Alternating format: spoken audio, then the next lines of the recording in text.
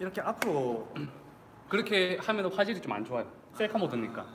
그래서 이렇게 지금 켜진 찍어주면? 좋긴 하. 어? 켜진 거예요 이거? 켜진 거지. 아, 지금 빛 번짐이 좀 있어요. 됐다. 이렇게. 구마 1등 반갑습니다. 채팅창 올라온 거 보이죠? 우와 가마본타 2등 H님 반갑습니다. 상인님 반갑습니다. 쉐드만님 반갑습니다. 어서 오세요. 요렇게 어, 기다렸다고? 저도 기다렸어요. 이 시간만 이 시간만 죽도록 기다렸습니다. 저도 치키드님 반갑습니다. 오인섭님 반갑습니다. 지훈김님 반갑습니다. 성인님 반갑습니다. 알람 올리자마자 바로 왔다고 반갑습니다. 니은디가 어서 오고 반갑습니다. 허당님 어서 오고 실장님 반갑습니다. 어 신기해 라이브 신기하죠? 네 라이브는 아주 생동감이 넘쳐요. 바로바로 이렇게 피드백이 들어오니까. 상인이 반갑습니다. 밥 아직요. 형 왔으니까 나도 영상 키고 운동한다고요. good. 홈트입니까? 나도 영상 키고 운동한다고요. good. 홈트입니까? 성일님 반갑습니다. 김님 반갑습니다. 이거 은식이 못, 형이 못 올리지 올수 있어. 아 어, 어, 됐네? 어, 이렇게. 누가 일바냐고요? 누가 예쁜 군마이님 1등, 가마부타 2등. 이에요. H님 4등, 3등이세요. 안녕하세요 네, 요, 요한 너도 나와. 어, 얼굴 비춰. 짜잔. 짜잔. 어 채팅 없어졌다 뭐라고요? 채팅 없어졌잖아 이제 시간 지나면 자동으로 사라져. 어? 그런 여기, 거예요? 여기. 아, 아, 그러니까 아. 화면 가리니까 아, 무슨 말인지 알겠죠? 그런 거구나 음, 새 채팅이 계속 올라오는 거죠. 어. 음. 신기해 한 100명 정도 차면 운동 시작할까요? 네 알겠습니다 으쌰.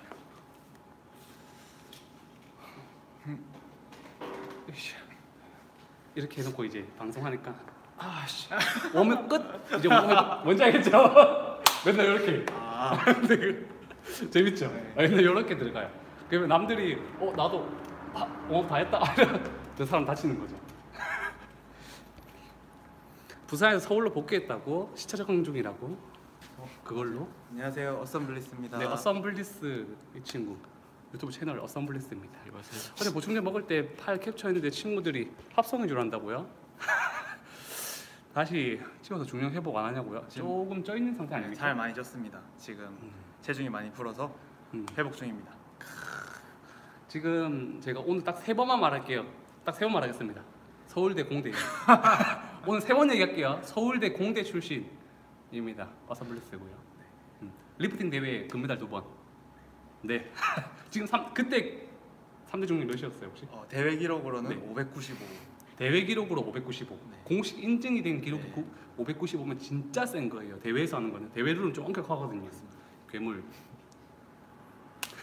이거는 이제 오늘 딱 세 번 홍보할 거예요. 더 이상 홍보 안 해요. 네. 카메라 잘 안 담기네요 잘안 아, 남기지. 아닙니다. 잘 안. 충분히 실물이 훨씬 낫지. 저 3대 800이라고요? 네, 800만이요. 800만 톤이요. 키와 체중은 굉장히 아. 미- 민감한 바로 보이는구나. 네. 와, 채팅창 잘 보통 처음 잘 못 보는데 아, 제 이름이 딱 뜨니까 음. 뭐 바로 보이긴 여기서 하는데 보인다고? 키와 체중 보고 해내야지. 안 보이는데 나는 너 시력 많이 안 좋구나. 왜나좀 피곤하면 한쪽이 좀 많이 흐려서 잘 안 돼. 아,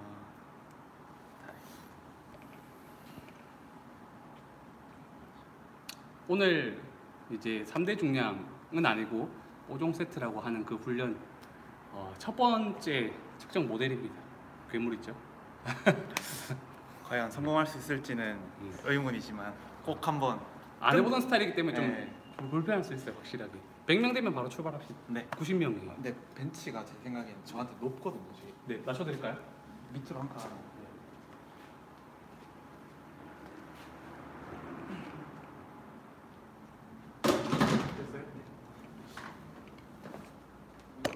지금 안 해봤어 저거는 안 켜요? 켜야지.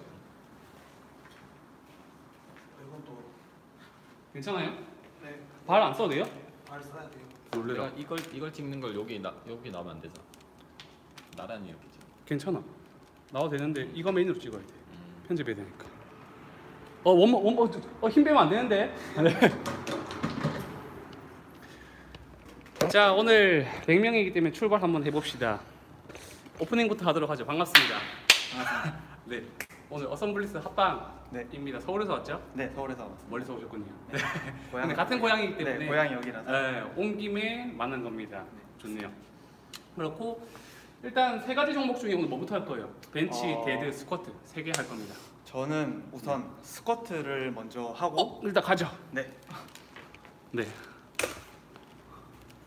이것도 촬영하면서 찍어야겠다. 오프닝 다시 해야겠다. 고화질 촬영 한번 같이 할게요.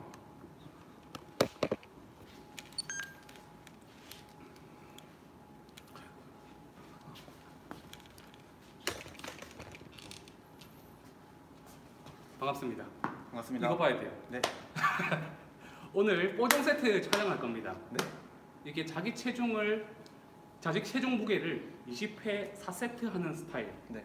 훈련법을 오늘 촬영할 거기 때문에 네. 지금 70kg 네, 70kg. 아주 쉽지만은 않지만 해볼 거예요. 네. 사실상 평상시 치던 무게 생각하면 좀 심적으로 좀 가볍죠. 심적으로는 가벼운데 네, 제가 추석이기도 하고 음. 또 얼마 회의 전에. 전에 네, 아니 그건 아니고 그럼요. 보디빌딩 대회도 나갔다 왔고 좀 음. 회복 기간 동안 운동을 많이 쉬어서 그리고 많이 회복을 한다고 섭- 칼로리 섭취는 많이 했는데 많이 못 빼서 지금 몸이 약간 무거운 상태입니다. 아 사실상 몸은 체중은 떨어지니까 아주 활동하기 좋아야 되지만 네, 컨디션이 네 맞습니다. 뭔지 알 것 같아요. 일단 그런 상태라는 거 보험 쳤습니다 이미. 아, 보험 보- 쳤기 때문에 네, 보험 치는 스타일은 아닌데 그리고 제가 또 보험 하나 더 치자면 지금 장비가 아무것도 없어서 제가 지금 시- 맨, 맨발로 맨발로 스쿼트 해야 아, 돼가지고 원래 역도화. 네 원래 역도화를 신고 꼭 스쿼트를 하는 편인데 원래 대회에서도 장비 다 차도 되잖아요. 네 맞습니다. 그렇기 때문에 차는 거 벨트는 제가 빌려드릴게요. 혹시 모르니까. 네. 네. 왜냐면 개수가 많다 보면 한 번 긴장 풀리면 그 한 번에 크게 나오니까. 네. 벨트는 빌려드리고 일단 첫 번째 종목이 스쿼트 할 건가요? 네 스쿼트 먼저 하고 네. 그 다음에 벤치 하고 데드리프트를 하고 네. 조금 쉬다가 다시 스쿼트 돌아가고 어, 제가 잘 모르니까 대회 룰로 알아서 해주세요. 네 알겠습니다. 그거는 뭐 양심적으로 뭐 채널에 다 모두가 보니까. 네. 일단 제가 벨트 들고 올게요. 네.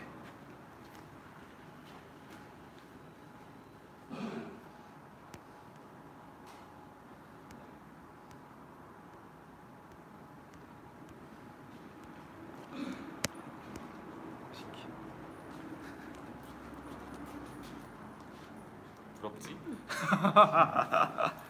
자 벨트 요거 드릴 겁니다. 우와 요거 차시면 돼요. 감사합니다. 네. 혹시 무릎 그러면 무릎 보호대 제가 한 짝은 있는데 한짝 드릴까요? 무릎 보호대. 네 아대 아 네 아대 뭐 드릴까요? 있으면 오. 좀 따뜻한 한쪽 분이에요. 괜찮습니다. 클리오로지. 네 좋습니다. 아, 너무 너무 밑밥을 많이 깔고 시작했나? 네? 너무 사람들이 막 밑밥 간다 이런 아, 댓글이? 많아서 안 나와. 지문 인식인가? 아 나오네. 괜찮습니다. 네. 일단 선수 보호 차원에서 장비를 지급합니다. 크로로지 아대 한쪽 그리고 벨트 리프팅 벨트까지만 지급을 했어요. 오 좋습니다. 좋죠, 짱짱하죠. 네, 딱 맞네, 사이즈가 똑같아요. 네. 일단 스쿼트부터 한번 가볼까요? 가보겠습니다. 갑시다. 바로 출발되죠? 네. 좋네요.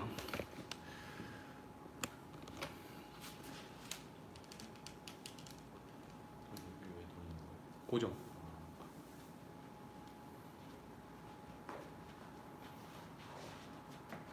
그냥 뭐 제가 하나, 둘, 셋, 넷, 다섯, 여섯, 일곱, 여덟, 아홉, 열, 하나, 둘, 셋, 넷, 다섯, 여섯, 일곱, 여덟, 아홉, 아 많다.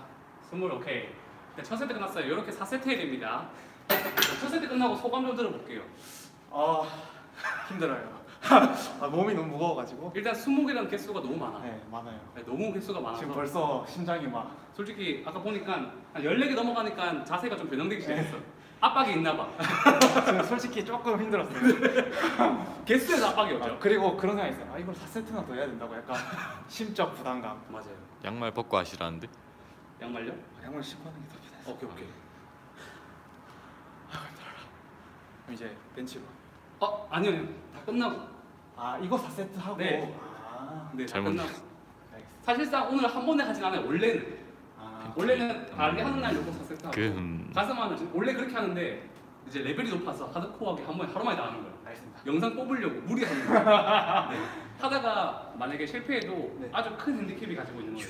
왜냐면 같은데 아니 어, 선수 레벨이 높기 때문에 오늘 출전하신 분이 하드코어 뭐야? 최영민님? 우와. 와? 뭐야? 고추 봐서 이어가지고 오늘은 3인분 접 대접한다고요. 서울 오면 구글 놀러 오라고요. 구글 가면 그때 고추 바삭 먹으러 구글 직원이 저보고 아, 구글? 오면 밥, 밥 드린다고. 오늘은 3인분치 밥 먹으라고. 어. 오늘 감사합니다. 와, 아 형, 근데 감사합니다. 형님 저 카톡 한번 주세요. 카톡 주면 진짜 구글 놀러 갈게요 제가. 근데 혹시 구글 제가 감사합니다. 촬영하면서 가도 됩니까? 이런 거 좀 신기해요. 와, 어, 진짜 신기하다. 네, 그때 제가 고추 바삭 드시라고 해가지고 네. 그 다음에 바로 사 먹었거든요. 아, 진짜 감사합니다. 리액션 리액션 감사합니다. 리액션 했어요? 제가 해야 돼.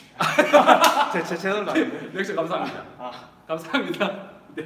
블리스님 때문에 쏜 거 아니야? 감사합니다. 전투 먹방이요. 지금 제가 무릎이 좀 안 좋아요. 아까 자, 제가 뭐 정리하다가 무릎이 좀 꺾여가지고 하, 보험이 아니라 제가 진짜 그래요. 무리하면 안 좋을 수 있어서. 아까? 다쳤어요. 네, 2세트. 감사합니다. 자, 2세트 갑니다. 휴식은 얼마나 해야 되는 건가요? 2세트 갑니다. 뭐라고? 휴식은 얼마나 하는 건가요? 휴식 한 2분 정도면 되는데 좀 편하게 가도록 하죠. 대왕사 둘, 셋, 넷, 다섯, 여섯, 일곱, 여덟, 아홉, 열. 하나, 둘, 셋, 음, 넷, 다섯, 시청자가 늘고 있군. 여섯, 일곱, 여덟, 아홉. 오케이. 이거 제가 많이 해본 경험상 됩니다. 이제 2세트를 이렇게 다이렉트로 성공할 수 있으면 3세트, 4세트가 어거지로 돼요. 제가 봤을 때 성공각이 보여요. 2세트를 소화했다는 것 자체가 저는 보입니다. 기분이.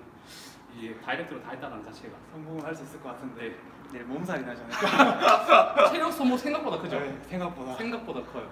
제가 3대 500 그런 거 하는 것보다 네. 자기 체중 20번 4세트 해라고 많이 권장하거든요. 좀 안전하기도 하고. 좋은 방법인 것 같습니다. 20개씩 4세트. 이제 오늘 잘하는 분이고 힘도 세지만 요걸로 한번 측정을 도와주시는 모델인 어썸블리스입니다. 왜 하필 채널에서- 4세트냐고 물어보시는데? 뭐라고? 왜 하필 4세트냐고 물어보시는데? 그런 게 하필 하필 그런 게 있어? 그럼 하필 3세트 할까? 하필 5세트 할까? 하필 한 7세트 할까요? 안 됩니다. 왜 하필 7세트야? 아, 세트면 왜 충분히. 하필 20개야? 질문 많 질문이 해보시면. 알 것 같습니다. 4세트면 네. 충분히 다리를 네. 끝장내고도 남을 세트인 것 같습니다. 설명해 드릴게요. 3세트는 아무리 힘들어도 뭔가 소화가 돼요. 한 번 끝나면 두 번 남았고 두 번 하면 거의 끝이 보이거든요. 4세트가 많지도 적지도 않은 세트 수예요. 5세트부터 좀 많아지거든요. 느낌상 뭔가 많은 것 같아요. 4세트가 딱 뭔가 자기 체력을 다 뽑기에 좋은 세트 수인 것 같습니다. 20개는 너무 많고요. 개수가. 그래서 너무 많게 설정했어요. 왜? 부상 위험도 거의 없고 자기 체중도 절대 가벼울 리가 없거든요. 대부분의.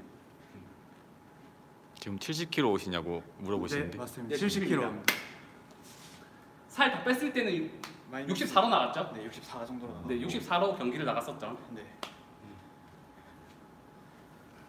이분이 너무 긴거 같은데. 뭐라고요? 그냥. 편하게 바로, 하신다고 했으니까 바로 어, 아니 많이 안 쉰 것 같은데.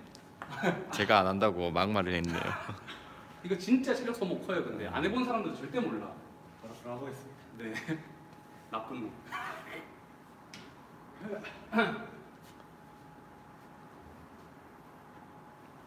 요, 요 하나. 세트 끝나고 여쭤볼게요. 둘, 셋, 넷, 다섯, 여섯, 일곱, 여덟, 아홉, 열, 하나, 둘, 셋, 넷, 다섯, 여섯, 일곱, 여덟, 와, 아홉, 열. 자, 자기 체중을 3세트까지 그냥 다이렉트로 뽑아냈다고?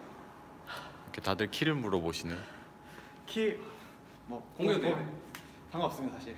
키 키가 제가 196이거든요. 알아서 가늠하세요, 네, 형님들. 제가 비슷한데? 196이니까 알아서 가늠하시면 됩니다. 알겠죠? 가볍나요? 이런 이런 센스를 배워야 돼. 내가 제일 크네. 이 이거 왜 이렇게 쉽게 하지?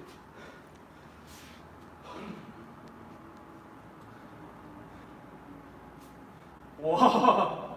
좀 뭐 하는 거지? 아아 무릎. 아 진짜 무릎이 안 좋구나. 한 번도 꺾였어요 한 번. 음. 큰일 날 뻔했어. 하지 말라니까. 아, 안 해야겠다. 아, 아까 정리하다가 아 이런 적한 약간- 번도 없었는데 무릎은 아 뼈가 좀 뒤틀린 그런 순간 놀랬네. 상황이라 가지고 아니 근데 다리는 좀 못할 것 같아 진짜로. 69? 아우 나중에 다리 끝나면 아들 주세요. 아 진짜. 끝나고 드리겠습니다. 아 방송이라 웃으면 얘기하는데 아 진짜. 밑밥 가는 거라고 하시는데. 근데 진짜 아까 네 아 다치셔가지고 사고가 좀 있었어요. 네 방송 없을 때 사고가 있었어요. 물 한 번만. 아 네네. 두번세 번 드세요. 네. 이제 한 세트 남으니까 좀 마음 연기? 아니에요 연기 아니에요. 할 세트는 어거 어거지로 어거지도 돼요. 할 수 있을 것 같아요. 200명 넘는 정신 승리가 돼요. 멘탈을 잡을 수 있기 때문에. 천천히 한 세트만 끝내자 보니까 반 다리를 다 피지 말 걸. 아 중량 실린 상태로 하다 보니까 와 신기하다. 채팅창을 볼 수가 없어요. 나 집중해야 되니까. 근데 구- 궁금한 게 네. 이렇게 멀리 떨어져서 말해도 다 들려요. 잘 들려요. 휴대폰이 생각보다 마이크가 좋아요. 어, 좋다. 음. 이제 잘안 들리 안 들립니까? 엄청 잘 들리죠. 무게는 자기 체중 곱하기 1, 자기 체중하고 똑같은 무게로 설정했습니다. 네. 자기 체중 하시면 됩니다. 형님들이 뭐 65면 65kg. 그러니까 체급이 낮을수록 유리할 것 같지만 사실상 체급 낮으면 힘도 약해요. 맞아요. 어쩔 수 없어요. 맞아.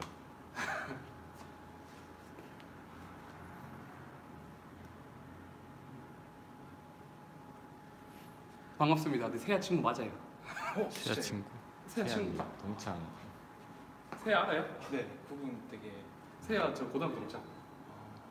다음 방송 같이 하기로 했어요. 아 진짜 그분은 구독자 엄청 많잖아요. 40만 정도. 구독자보다는 아무래도 아프리카나 이런 데는 좀 음, 그렇죠. 다음에 세아 인터뷰하려고. 네, 유명하니까. 그렇죠. 근데 워낙 방송인이라서 인터뷰 같은 음, 무슨 말이지? 진중한 게 없어요. 그런 거 좀 따고 싶었어. 저는 막 그분 영상은 강남에서 막 길거리에서 아 장난 아니지. 그런 거 보고 와 멋있다 장난 아니지. 그런 거 엄청 동안이에요 거기다. 어썸블리스님처럼 동안이에요. 아, 저 동안 자 마지막 할까요? 네 바로 네. 구독 감사합니다. 자 4세트 마지막 구간입니다. 음, 이거 다른 유튜버 클리어예요. 하나, 둘, 셋, 넷, 다섯, 여섯, 일곱, 여덟, 네 그분 맞아요. 아. 대세는 세요. 열, 하나, 그분이랑 동창이시라고. 셋, 넷, 다섯, 여섯, 일곱, 여덟, 아홉, 몸- 몸이 좀 짧대. 열. 와, 아니요 이게 이게 조금 그렇나 봐. 진짜. 좀 작게 나오긴 해요 카메라. 일단 세팅 끝났고요. 벤치 할 거죠? 네 네. 벤치로 넘어가겠습니다. 이건 내가 들고 가고 물 드세요. 감사합니다 이렇게 벤치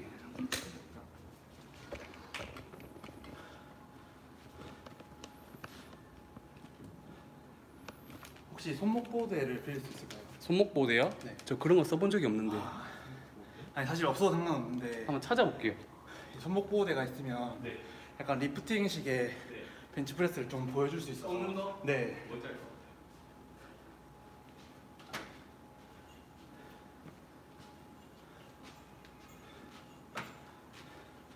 제가 닦아드리겠습니다. 감사합니다.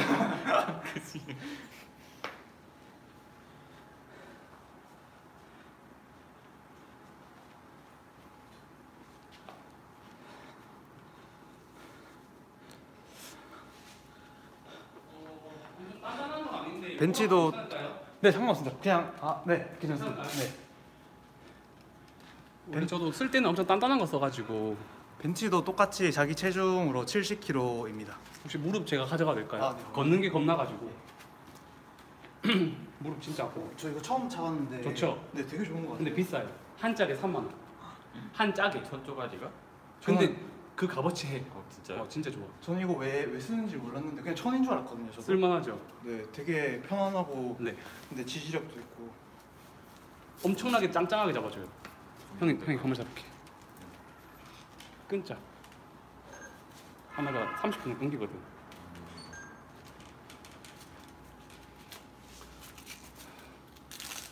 벤치 자기 체중 4세트 20회 할 겁니다. 네, 크리오로즈예요. 아니요, 협찬 안 받았는데 옛날에 산 건데요. 방송 안 할 때. 이런 건 협찬도 안 되지 않아요? 협찬 안 될 걸요 아마. 역도- 역, 역도 전문이라서. 이거 어깨 하는 것도 있네. 어깨? 이건 어깨는 없어. 이 그래요? 브랜드. 음. 왜? 내 얼굴 나왔어. 힘들죠. 바로- 좀좀 더 쉴까요? 괜찮아요. 아니요, 벤치프레스는 오케이. 바로 가고. 바로 갑니다. 출발. 내가 빠지겠다. 아, 발 안 쓸 거예요? 쓸 겁니다. 놀래라. 아니 이게 세팅을 이런 식으로. 근데 벤치가 저는 조금 높아서. 오케이. 와, 자세 자체가 아니, 리프팅이에요. 하나, 둘, 셋, 넷, 다섯, 여섯, 일곱, 여덟, 아홉, 열. 하나, 둘, 셋, 넷, 다섯, 여섯, 일곱, 여덟, 아홉, 열. 와, 와 진짜 세, 진짜 세요. 어때요? 첫 세트. 가볍습니다. 아 가벼워요? 엄청나다. 저랑 자세가 완전 달라요. 저는 엄청 좁게 잡아요. 본 적 있어요? 네. 저 한 10개만 해볼게요. 머리 망가질까봐 벤치는 정말 안 좋아하는데 뭔지 알죠? 네. 머리 망가지고 그렇게 벤치 하는 거 진짜 싫어하는데 딱 10개만 무릎 아파서 다 다리도 못 하겠습니까? 어썸님 체급 얼마 하시냐고 물어보는 저요? 어썸님. 제가 대회는 여지까지는 마이너스 83으로 나갔었는데 아, 지금 집중.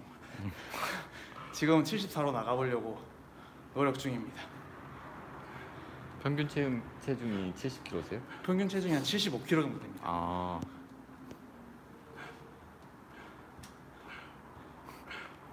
썸님 3대 중량 알죠? 30개, 30개 하시고 계신데 진짜? 아무도 아이고 관심- 골병 되겠다. 아, 형형한 아이고 골병 되겠다. 그러니까 이게 지금 차이점이 뭐냐면 저 같은 경우는 리프팅 스타일이기 때문에 가동 범위를 최대한 짧게 해서 조금 움직이는 게 저는 이제 하나 드는 게 목표인 사람이라서 가동 범위를 좀 최대한 요거 봐야 돼요. 아, 가동 범위를 최대한 넓혀서 네. 깔짝 가, 가동 범위를 줄여주는 거고요. 근데 그게 생각보다 스킬이 어려워요. 네. 숙달 안돼 있으면 똑같이 못해요. 네, 왜냐면 이게 넓게 잡는 순간 어깨에 부담이 굉장히 많이 가기 때문에 어깨 안정화를 제대로 못 시키면 바로 어깨가 나가는 스타일이기 때문에 이거는 사실 테크닉이라서 네. 함부로 따라 하시면 안 되고 공부를 많이 해보시고 자세 연습을 많이 하신 다음에 하시는 걸 추천드립니다. 제가 했던 스타일도 설명을 굳이 하자면 저는 엄청나게 일반 헬스인들보다 더 좁게 잡아요. 알고 있나요? 네. 그래서 어깨랑 팔꿈치 부담이 정말 큽니다. 조심하세요. 저는 이제 중량 치기 싫어서 힘들게 해요. 음, 중량 못 치는 자세요. 네, 맞습니다. 근데 중량 꼽기 귀찮아서 공감되죠? 네, 힘세니까 맞습니다. 중량 계속 꼽는 거 너무 귀찮고 정리도 귀찮아요. 그래서 중량 안 꼽으려고 최대한 힘들게 하는 걸 좋아해요. 갈까요? 네. 오케이. 키 키는 공개를 안 하셨는데 형이랑 비슷해요. 뽀정 형이랑. 마구리 꼽아줄게요. 네.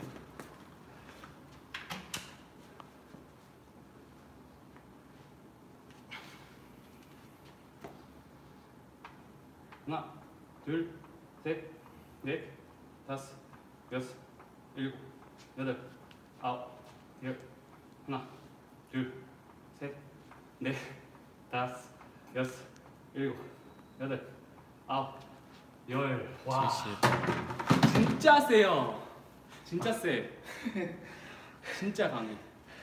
벤치는 힘이 약하셔도 어느 정도 테크닉으로 극복이 가능한 요거 요거 봐요. 벤치는 힘이 약하셔도 어느 정도 테크닉으로 네. 극복이 가능한 종목입니다. 카 카메라를 제가 맞춰드릴게요. 동시에 맞출 수 있게끔. 그리고 벤치프레스 팁을 약간 드리자면 만약에 본인이 팔이 긴 시다면 그립을 넓게 잡으면 가동 범위를 조금 줄일 수 있고 네.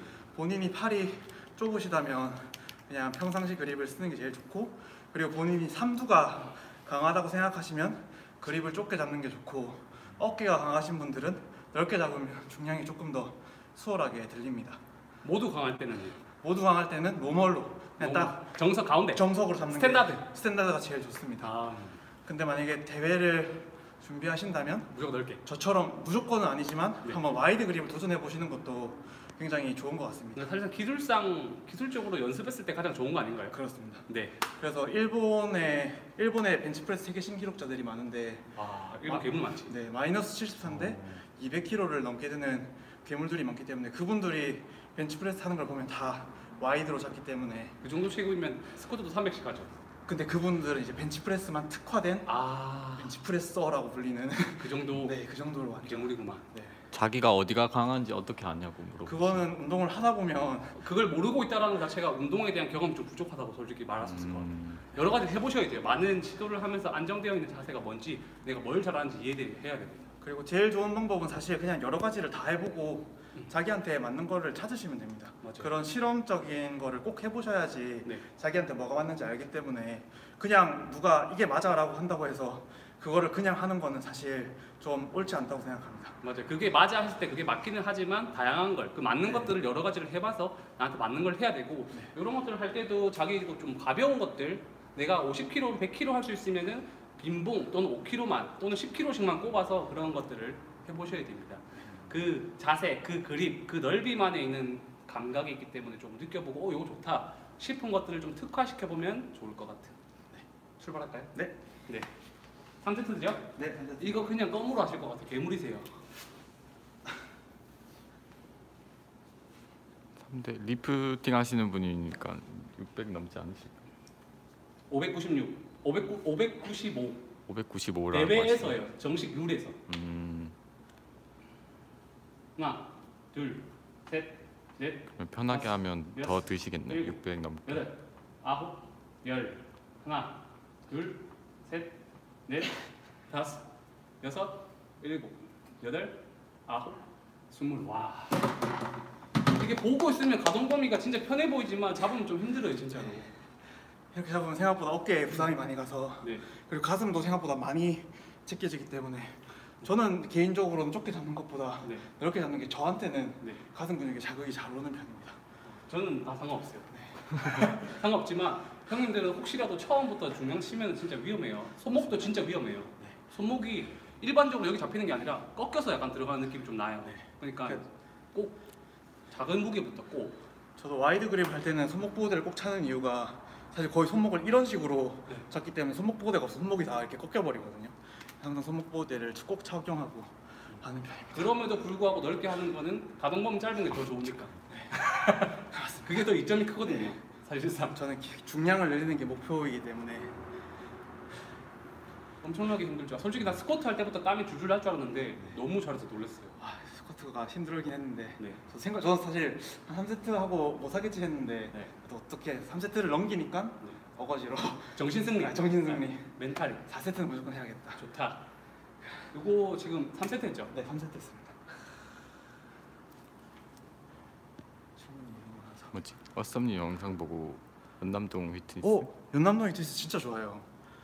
아 그래요? 뭐 이거 뭐 갑자기 아, 말씀하셔도 괜찮아요. 제가 홍보하는 것 같은데 네네. 제가 대학생 때 네. 뭐 아무튼 연 홍대 쪽에 잠깐 살았는데 홍대. 그때 막 센터를 돌아다녀 보다가 연남동 이지 휘트니스라는 곳을 갔는데 거기는 파워렉이 여덟 대인가 있는 그리고 파워렉에 그 역도 바닥같이 나무 플레이트로 깔려 있고 그리고 거긴 지하라서 아. 네. 쾅쾅. 쾅 해도 아무도 뭘 안 해서 아. 진짜 좋더라고요. 그래서 환경은 좋네요. 환경은 지금 그런 곳이 돈이 안 돼요. 맞아요. 네. 그래서 그 사장님은 네. 거의 관리 안 하세요. 아, 돈이 안 돼. 보정 세트 지금 하고 있는 게 보정 세트. 보통 그런 거 하는 분들은 운동인들은 좋다고 하는 채널 그 채널이래. 센터는 다 돈 안 돼요. 적자 보는 곳이라고 보면 돼요. 회원들 이렇게 만 원짜리 회원들 있으니까 음, 돈이 진짜 안 되죠. 사실상 시간 지날수록 그런 회- 센터는 아 사라질 것 신체 스펙 아까. 계속 자본주의 사회이기 때문에. 말을 너무 많이 해가지고 뭐라고? 신체 스펙 계속 말을 하는데 계속 물어보셔가지고. 아 말씀드릴게요. 키 196이고요. 몸무게 120kg입니다. 아 그리고 지민드 하우스 나오는 거는 제가 지금 다니고 있는 센- 센터. 센터가 지민드 하우스입니다. 키는 보정형이랑 비슷하고 70kg시래요. 뭐라는 거야? 뽀형은 오늘 운동 안 하시나요? 저요? 어 이거 다 끝나고 나면은 체력 빠졌을 때 제가 작업 먹도록 하죠. 출발할까요? 네. 창원 사람인 아, 아, 그 고향이 이쪽이시래요. 한 번에 고향이 이쪽이시고 어, 지금 서울을 살고 계시고 아 준비 자세부터 달라.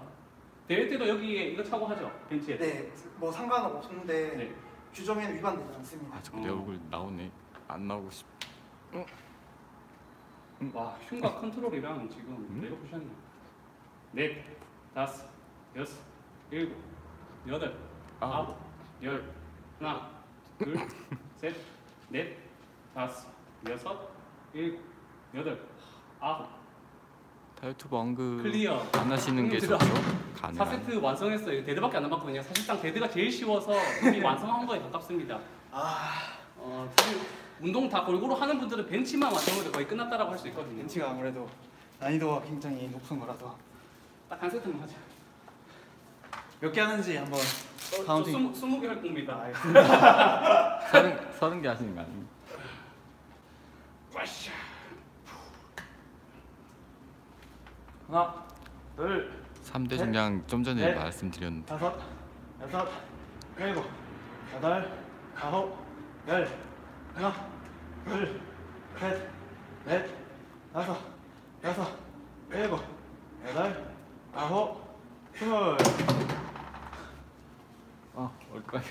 뭐라고? 어 죽겠다 씨. 아이고 대대로 갑시다 형님들.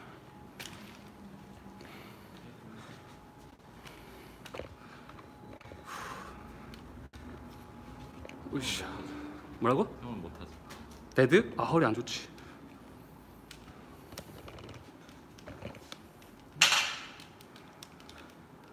이 정도? 저는 100kg로도 할 수 있어요. 20개씩 하는 거 사세요. 스무 개? 음.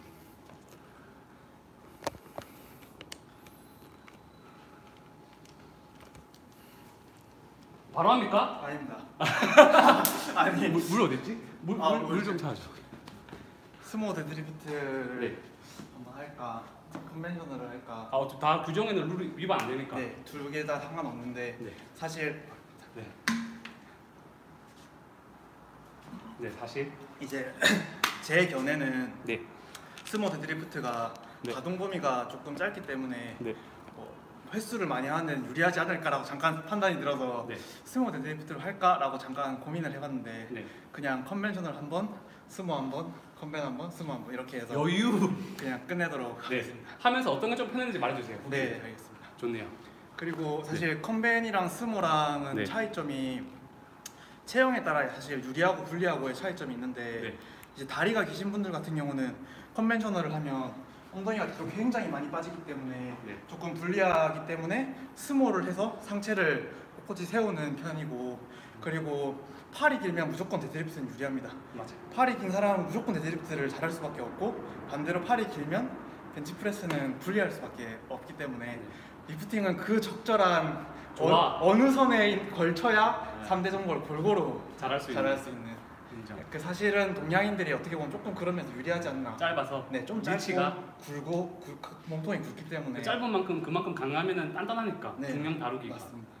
그래서 역도 같은 경우는 아무래도 동양인들 챔피언이 조금 많은 거고 근데 또 반면에 뭐 다리를 많이 써야 되는 스프린팅 같은 경우는 동양인들이 아무래도 조금 불리한 경향이 있는 거 길이상. 네 길이상 아 ES. 네. 바로 출발할까요? 네 이렇게 보고 하는 게 네. 어 괜찮으세요? 네, 저는 상관없어요. 네, 네. 정면으로 해요? 아, 어, 이제 카메라 봐주는 거지. 아 원래 나만 카메라 보는데 이제 레벨이 높으니까 이거 컴지마 상관없어. 둘, 셋, 넷, 다섯, 여섯, 일곱, 여덟, 아홉, 열, 하나, 둘, 셋, 넷, 다섯, 여섯, 일곱, 여덟, 아홉. 첫 세트. 오랜만에 대드 한번 해볼까요? 스트랩을 잃어버리면 스트랩실.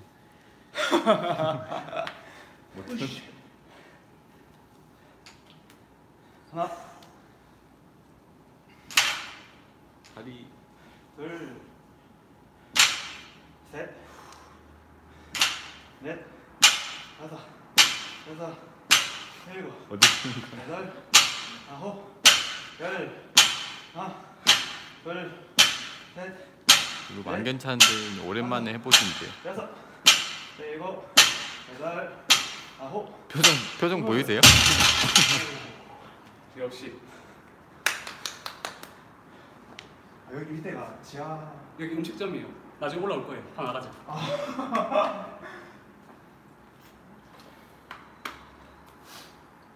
솔직히 데드가 제일 쉽죠. 그렇죠.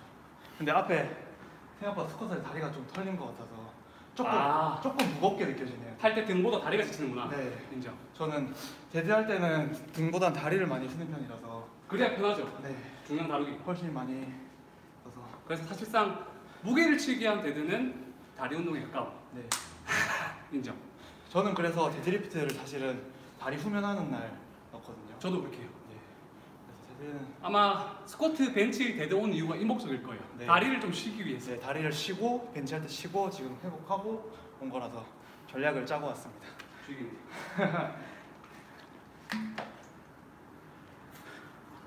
제가 데드를 진짜 오랜만에 해봤어요. 방송에서.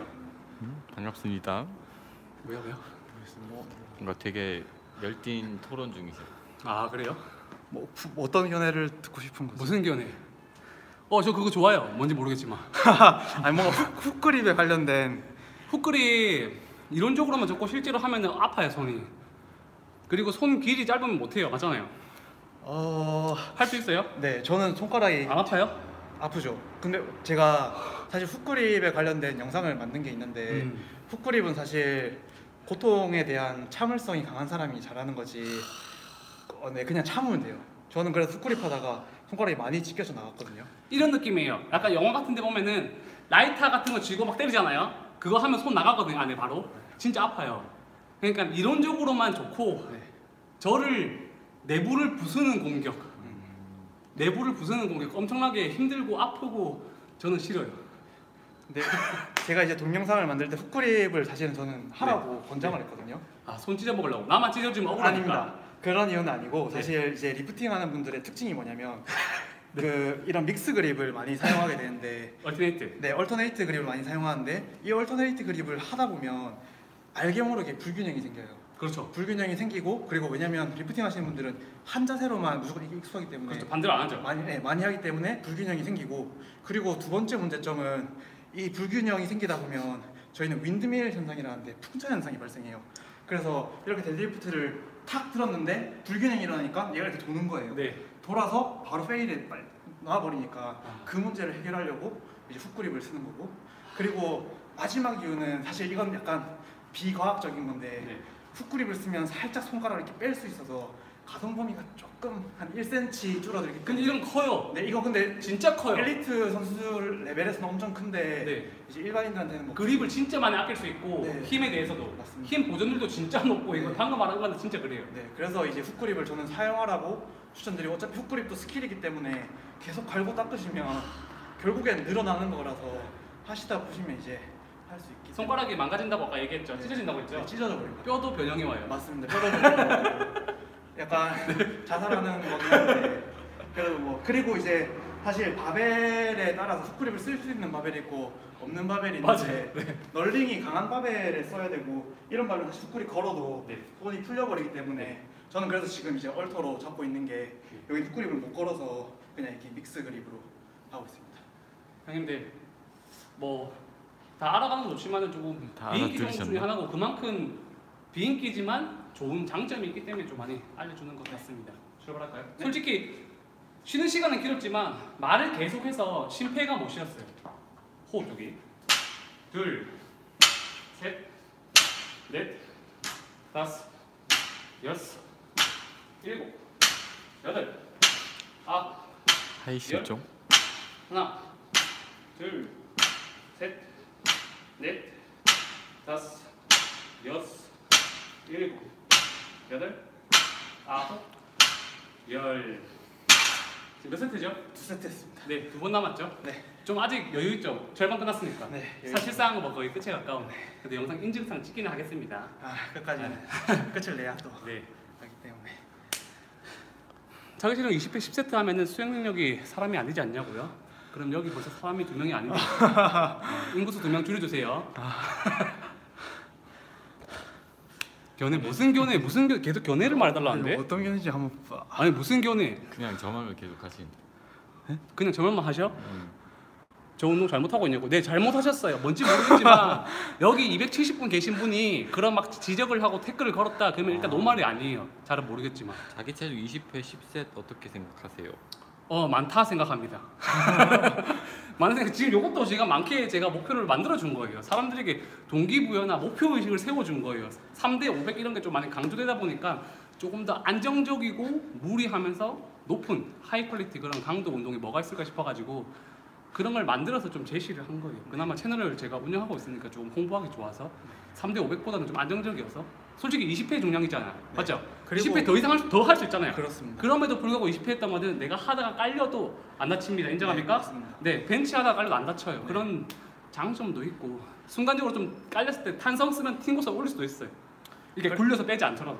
그리고 제가 지금 하고 있는데 이 방법이 좋은 이유가 뭐냐면 3대 500의 기준이 사실은 애매모호한 게 몸무게가 100kg인 사람이 500을 드는 것도 물론 대단한 거지만 60kg인 사람이 500을 드는 거는 더. 더 대단한 거기 때문에 그 기준선이 없기 때문에 3대 500 그런 말은 저는 약간 무의미하다고 생각을 하고 그리고 이건 저는 이제 파워리프팅 대회에 참가하는 입장으로서 3대 500을 정말 규정에 따라서 대회 룰으로 할 수 있는 사람이 생각보다는 많지 않을 거라고 저는 어, 많지 않아요. 네 생각합니다. 규정이 생각보다 까다롭기 때문에 네. 특히 벤치 같은 경우는 멈췄다가 1초 프레스. 정도 전- 지나고 프레스라는 신호를 받고 올려야 되기 때문에 그렇게 하면 생각보다 사람들이 많이 벤치를 못 하기 때문에 3대 500보다는 뭐 이런 방법으로 훈련하는 게 저는 훨씬 더 좋은 목표라고 생각합니다. 방금 말이 1초잖아요. 본인이 깔린 상태로 1 버티면은 그 시간이 사- 거의 한 4초 느낌? 네 맞습니다. 좀 많이 길어요. 진짜 진짜 길게 느껴져서 네, 길게 느껴져요. 뭐야? 자꾸 어그로 끄셔서 누가 누가 마랑 형님? 누가 큰가요 이러고. 아니 마랑 형님 요번에 안 좋은 일 있으면 좀 어그로 끌릴 수 있지. 괜찮아요 형님들. 채팅 너무 불편해하지 마시고 그냥 좀 편하게 치는구나. 그만큼 마랑 형님 파급력이 좀 파급력이 있구나라고 생각해 주면 될 것 같아요. 제가 잘은 모르는데 보니까 제목이 엄청나게 자극적이더라고요. 그만큼 안 좋은 문제라고 생각하니까 저는 좀 안타까울 뿐이에요 솔직히. 나중에 가서 전화해 보긴 하겠지만 뭔지 잘 모르겠어요. 잘 모르겠으니까 뭐 너무 기분 나쁘게 보지는 말고 그냥 라이브 보면서 조금 말이 세거나. 좀 세면은 안 좋긴 하지만 그냥 뭐 제 입장에서 뭐 다 쳐내 뭐 이렇게 할 수도 없으니까 그냥 좀 좋게 봐주시면 좋을 것 같아요. 왜냐면은 다 불편하면은 지금 불편한 채팅 좀 많을 테니까 네. 뭐가 좀 있었나 봐요. 잘은 모르겠는데 아 우리는 계속 네, 운동- 방송 얘기하고 어, 영상 찍고 이- 라이브 전에 영상 찍고 있었거든요. 좀 바빠서 못 봤어요. 아무것도 몰라가지고 나중에 저거 한번 알아보고 하도록 하겠습니다. 좀 채팅 좀 불편하시더라도 서로 좀 양해 양보 부탁드리고 말을 할 때 있어서 좀 더 매너 채팅 우리 전부 다 어른 아닙니까? 말 좀 이쁘게 해주는 단어 선택 부탁드리겠습니다. 내가 먼저 양보하자라는 마음으로 부탁드릴게요. 갈까요? 네. 아유 채팅이 너무 많다. 그리고 게- 게스트가 있기 때문에 제가 채팅창을 잘 못 봅니다. 사실상 죄송해요. 하나, 둘, 셋, 넷, 다섯, 여섯, 일곱, 여덟, 아홉, 열. 하나, 둘, 셋, 넷, 다섯, 여덟, 이제 여덟, 아홉, 오케이. 한 번 남았네요. 사실상 완성의 끝에 가까운 조금 빨리 끝내고 소통을 하기 위한 그런 동작이 아니었나 싶을 정도로 약간 대충한 감이 있었지만 약간 대충한 감이 있었지만 어, 이게 카메라에는 조금 더 많이 다 안 핀 것 같았어요. 제가 실제로 볼 때는 괜찮았거든요. 저는 이렇게 파- 이 프레임이 안 잡히나 봐. 카메라가 속도가 너무 빨라가지고 속도를 못 한번- 잡아내네. 한번 올려보고 싶어서 저거 빈봉이라고 하시는데. 뭐라고요? 저거 빈봉 아니냐고. 아니 아까 호정 형님이 저걸 너무 가볍게 드시길래 아, 나도 할 수 있다라는 걸 어필해 주려고 제가 방금 그런 퍼포먼스를 100, 100 이상 할 수 있을 것 같아요. 근데 대결 구도로 가기엔 체력 많이 뺐으니까 오늘은 참겠습니다. 제가 하반기에 살을 한번 찌워서 내려와서 한번 뽀종을 이겨라 어, 컨텐츠 좋죠. 한번 도전하러 오겠습니다. 진짜. 저 대, 대환영이에요. 네, 진짜로. 대환영 정말 좋죠. 제일 자신 있는 종목이 뭐예요? 어 하체는 안 될 것 같고 벤치프레스 벤치. 벤치도 사실 안 될 것 같으니까 좋아요. 이런 거. 그 그거 아세요? 우리가 악당 네. 유명한 악당 빌런 조커 아세요? 네그 배트맨이 왜 유명해요? 조커 때문에 그렇죠. 그렇게 강한 적을 죽였기 때문에 유명합니다. 그렇죠. 이런 강한 먹이는 좋은 먹이죠. 네, 언제든지 네, 저는 환영합니다. 알겠습니다. 네. 그 사실상 저는 좀 이게 high quality 엘리트랑 그렇게 많이 대결을 못 해봤어요. 그리고 대결을 져본 적이 거의 없어요. 사실상 팔씨름 선수 만나기 전에도 팔씨름 져본 적이 없었어요. 팔씨름 선수 만나고 다치고 절대 안 하죠 팔씨름. 절대 안 하지만 아직까지도 뭐 헬스 안의 종목에서는 자신감이 넘칩니다. 사실상 지고 싶어요. 이게 뭐냐면은 아이콘을 좀 버리고 싶어. 음, 그 아이콘은 버리면 솔직히 부상 안 당할 것 같아요. 저 평생 부상 안 당할 것 같아요. 제가 아이폰 한번 가지러 어, 가져가세요. 힘의 타이틀을 가져가십시오. 제가 제가 이거 이, 이 타이틀을 유지하고 있으면 어떤 그런 명예가 주어지시냐면 타이틀 뺏어 가잖아요. 네. 가만히 계시면은 일주일마다 3대 중량이 100kg씩 올라가요. 팬분들에 한해서 그 3대 800이 어, 3대 중량이 일주일에 100kg씩 올라가거든요. 지금 제가 53만이 넘었어요. 네. 그러니까 계속 유지만 하고. 53만. 방어전만 잘 지켜내면 돼요. 아, 일주일마다 올라가니까. 이런 53만 뭐 53만 3대가 3대가 53만 마지막 세트 갑시다. 그 제가 해보니까 네. 스모가 확실히 편해요? 중량 많이 횟수를 치기에는 가동범 이상. 네 편한 것 같아요. 하나, 둘, 셋, 넷, 다섯, 여섯, 일곱, 여덟, 아홉, 열. 하나, 둘, 셋, 넷, 다섯, 여섯, 일곱, 여덟, 아홉, 열. 엄청나네요. 끝났습니다. 역시 괴물. 감사합니다. 아, 장난 아니야. 진짜 인정합니다. 아. 남자들 남자 상남자 괴물입니다, 형님들. 진짜 인정해요. 이렇게 저희 3대 3대 종목 대회 자기 체중 595라고 20회. 하셨나? 4세트 오늘 완료하면 아, 개인적으로 아, 편하게 하실 때는 600 이상 드실 겁니다. 마무리합니다. 네. 오늘 촬영해 주신 어썸블리스님 네, 정말 괜찮네. 감사합니다. 네 감사합니다. 어썸블리스였습니다. 뿅. 녹화는 끝. 아 요것 좀 갖다 놔 줘. 고마워. 그럼 이제 라이브에 조금 더 집중해 보도록 하죠. 사실상 리프팅 할 때는 자극이 아예 안 오잖아요. 네. 자극이 1도 안 와요. 네. 그 퍼포먼스에만 집중을 한단 말이죠. 좀 쉬- 쉬세요, 최대한. 대답하지 말고. 그런 느낌이 있는데 방금 같이 이렇게 고반복을 하게 되면 아무리 퍼포먼스지만 자극을 다 버리고 동작을 수행을 하기 위해서 하는 그런 무의미한 동작, 약간 퍼포먼스용을 쓰더라도 개수가 많아지면 자극이 와요. 뭔지 알죠? 네, 지금. 어디가 좀 맞죠? 스미스 때? 지금 지금 온 다리가 펌핑이 됐습니다. 그리고 아까 첫 종목에 스쿼트를 하고 갔잖아요. 그래서 제가 이건 후기예요, 제 네. 후기. 관전 후기. 네 벤치를 하는데도 다리가 빨리 털리더라고요. 맞습니다. 네, 다리를 하고 가니까 벤치 하면서 leg 다리 컨트롤 하는데 leg 포지션 쓰는 게 많이 호들 호달거리더라고요. 그래서 아마 다리를 많이 못 썼을 거예요 원래보다 그, 그 약간 높아서 저한테는 아. 제 다리 짧아서 네. 안 닿더라고요. 컨트롤 더 못했구나. 같이 발로 이렇게 들고 있어가지고. 그래서 더 힘들었어요. 저 보면서 어, 워낙 힘이나 그런 깡이 셌기 때문에 가능했던 거지 원래 컨디션의 퍼포먼스를 절대 못해서 제가 보니까 그렇더라고요. 그런 상태에서 또 오니까 맞습니다. 아. 털, 털린 상태로 계속 debuff를 계속 받았어요. 네. 자기가 할 수 있는 내가 생각하는 그런 높낮이나 세팅 상태가 좀 아니었어요. 맞습니다. 그럼에도 불구하고 제가 녹, 녹화할 때는 그런 걸 안 했지만 제가 인정합니다. 라이브에서 인정합니다. 감사합니다. 진짜 괴물, 진짜 백입니다, 형님들. 진짜 백이고 감사합니다. 어, 대회에서 595면 정말 그한 하루 만에 다 하죠. 네 그리고 하루 만에 다 하는데 네. 사실 제가 생각했을 때 대회에서 기록 세우기가 힘든 이유가 뭐냐면 네. 아직까지 한국 파워리프팅 대회가 네. 막 체계화돼 있거나 많이 붐이 일지 않았기 때문에 참가자 수가 작아요.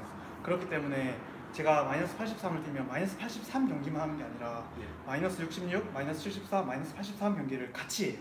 그러면 어떤 일이 발생하냐면 제가 스쿼트 첫 번째 시기를 하고 그 다음 시기까지 돌아오는 시간이 한 30분이 걸려요. 그럼 저는 30분 동안 몸이 다 식은 상태로 그냥 이러고 되네? 풀지도 푸는 장비도 없어요.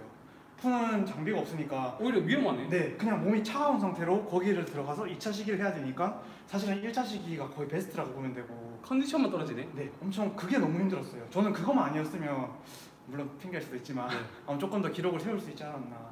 그것만 조금만 개선된다면 모든 선수들이 조금 더 와, 기록이 올라갈 수 있을 거라고 저는 생각합니다. 와 그거는 뭐 긴장 풀리겠다. 해이해지고 잠도 오겠다. 네, 그러니까 진짜. 앞에 한 저, 저 앞에 한 15명, 20명이 하고 제가 들어가야 되니까 지금 긴장하고 잠다 깨워서 각성 다 해가지고 지금 막 들어가는 건데 네. 그러니까 이런 거 보디빌딩 그 대회 뒤에서 펌핑 막 쳐놨는데 갑자기 10분 연기되고 아. 그 다음에 또 펌핑에서 또 들어가야 되는 기분이라서 그래서 펌핑을 많이 안 해야 돼요. 네. 펌핑 많이 안 하고 심지어 대회는 처음이잖아요. 네. 대회 나가면은 어, 저는 그렇게 해요. 저 말고 이제 입상, 입상권 선수잖아요. 네. 입상을 항상 해오던 선수가 항상 또 입상을 하거든요. 이 정도 되면은 전부 다 힘을 잘 안 줘요. 무대에서 대충 대충 자연스럽게. 대충 힘 주고 나면은 대충 끝나고 나면 1차전 비교 심사를 해요. 알죠? 아. 비교 심사부터 힘 주기 시작해요. 음, 그러니까 그 전에 힘 잘 안 줘요. 네, 힘 대충 모양만 슥, 슥 짜고 이제 비교 심사부터는 부들부들 거릴 만큼 힘주기 시작하죠. 아니면은 온몸에 쥐나요. 그 끝날 끝나면은 몸이 몸살 나고 어, 죽어요. 네, 입상권 선수들은 좀 편하게 포즈를 취하려고 노력해요. 그거 연습 많이. 처음 알았습니다. 네, 오늘 했던 후기 혹시 간단하게 말씀해 주실 수 있나요? 아 후기는 아까 전에도 이제 네. 말씀드렸는데 네. 확실히 자기 체중의 4세트, 20세트는 정말 제가 생각했을 때는 운동 수행 능력이 좀 되신다면 마무리 운동으로 하는 게 참 좋은 것 같습니다. 마무리 운동으로 자신의 이제 남은 에너지를 소모하기에 좋은 것 같고 저는 사실 이제 다리 운동 같은 거 마무리 운동을 이제 스쿼트 그냥 원판 한 장 끼워놓고 그냥 100개를 뭐 제한, 제한 시간을 저만의 제한 시간을 준 다음에 저는 보통 한 8분 정도를 주는데 8분을 줄 때도 있고 좀 컨디션 좋은 날은 7분까지도 준 다음에 100회? 100, 개를 이제 그 60kg 아, 60kg. 원, 원반 하나만 꽂고 아. 60kg로 100개를 이제 7분, 8분 때 이제 하는 거를 마무리 운동으로 이제 하는 편이고 근데 이게 아마 그런 방법하고 조금 비슷한 아, 맞아요, 맞아요. 뉘앙스가 비슷해서 네. 이제 만약에 다리 운동하는 날에 스쿼트로 마무리를 하고 가슴 가슴 운동하는 벤치로 저걸 좀 마무리하기는 좀 그렇지만 네. 뭐 예를 들면 팔굽혀펴기로 이제 마무리를 하는 것도 솔직히 가슴 지치면 푸시업도 힘들죠. 네, 맞습니다. 진짜 힘들어요. 푸시업도 힘들어서 제가 100회 8분 이런 거 하니까 제 옛날 기록이 생각이 나요. 제 옛날 스쿼트 100kg 네. 하프 하프 기준으로 스쿼트 100kg 100회 8분 컷이 100kg 진짜 100개 하는 거는 그냥 하는 거 자체가 네. 사실은 3세트에 끝내요. 힘 첫, 첫 세트에 40회 이상, 네. 두 번째에서 70회 넘게 마무리하고 마지막 세트에서 어거지로 끝내. 뭔지 알죠? 마지막 네. 무조건 어거지로 네. 끝내는 거고 그러니까 첫 8, 번째 8분 때, 밀어넣고. 네, 8분 때 컷, 와 8분 때 컷.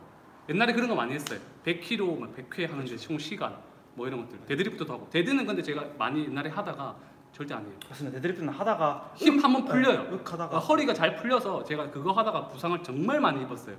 부상 많이 입으니까 겉멋이 재미가 없어. 그러니까 막 하면서 목표나 와씨 막 겉멋이 나야 되는데 겉멋이 재미가 없고 부상 당하니까 화만 나요. 그래서 dead는 제가 옛날부터 잘안 했고 뭐 벤치나 다른 것들은 정말 많이 해봤지만 뭐 스쿼트는 좀 좋은 것 같습니다. 벤치도 좀 네. 좋고 그런 게 좀 대표적인 네. 선수분 중에 한 분이 심현동 관장님이 아 맞습니다. 개수 치는 거 정말 많이 강조하죠. 그래서 굳이 꼭 뭐 스쿼트를 마무리 운동으로 안 하더라도 뭐 맨몸 스쿼트로 100개를 뭐 혼자 끝내신다던가 네. 이렇게 자신만의 변형을 줘서 이런 뉘앙스만 가지고 가면서 마무리를 하면 되게 좋은 것 같습니다. 인정. 네, 그래서 사람들이 조금 정형화되어 있는 그 리프팅 식이나 아니면 BB식 보디빌딩 식이나 진짜 많이 해봤자 15개가 한계인데 그런 네. 거를 좀 깨주는 그냥. 다채로운 운동을 한다는 게 정말 중요해요. 제가 봤을 때는 잘은 모르지만 저도 리프팅 쪽은 잘은 모르지만 항상 낮은 횟수 그러니까 2회에서 4회 정도 되는 걸 항상 할 거고 기록 측정할 때만 어거지로 1회를 할 거란 말이죠. 그것도 사실상 1.2회, 1.5회 횟수로는 말이 안 되는 개수지만 이론적으로 1.2회, 1.5회 되는 거를 1회만 하고 말 거란 말이지. 딱 우리가 기계처럼 1회 되는 걸 하지 못, 못 하잖아요.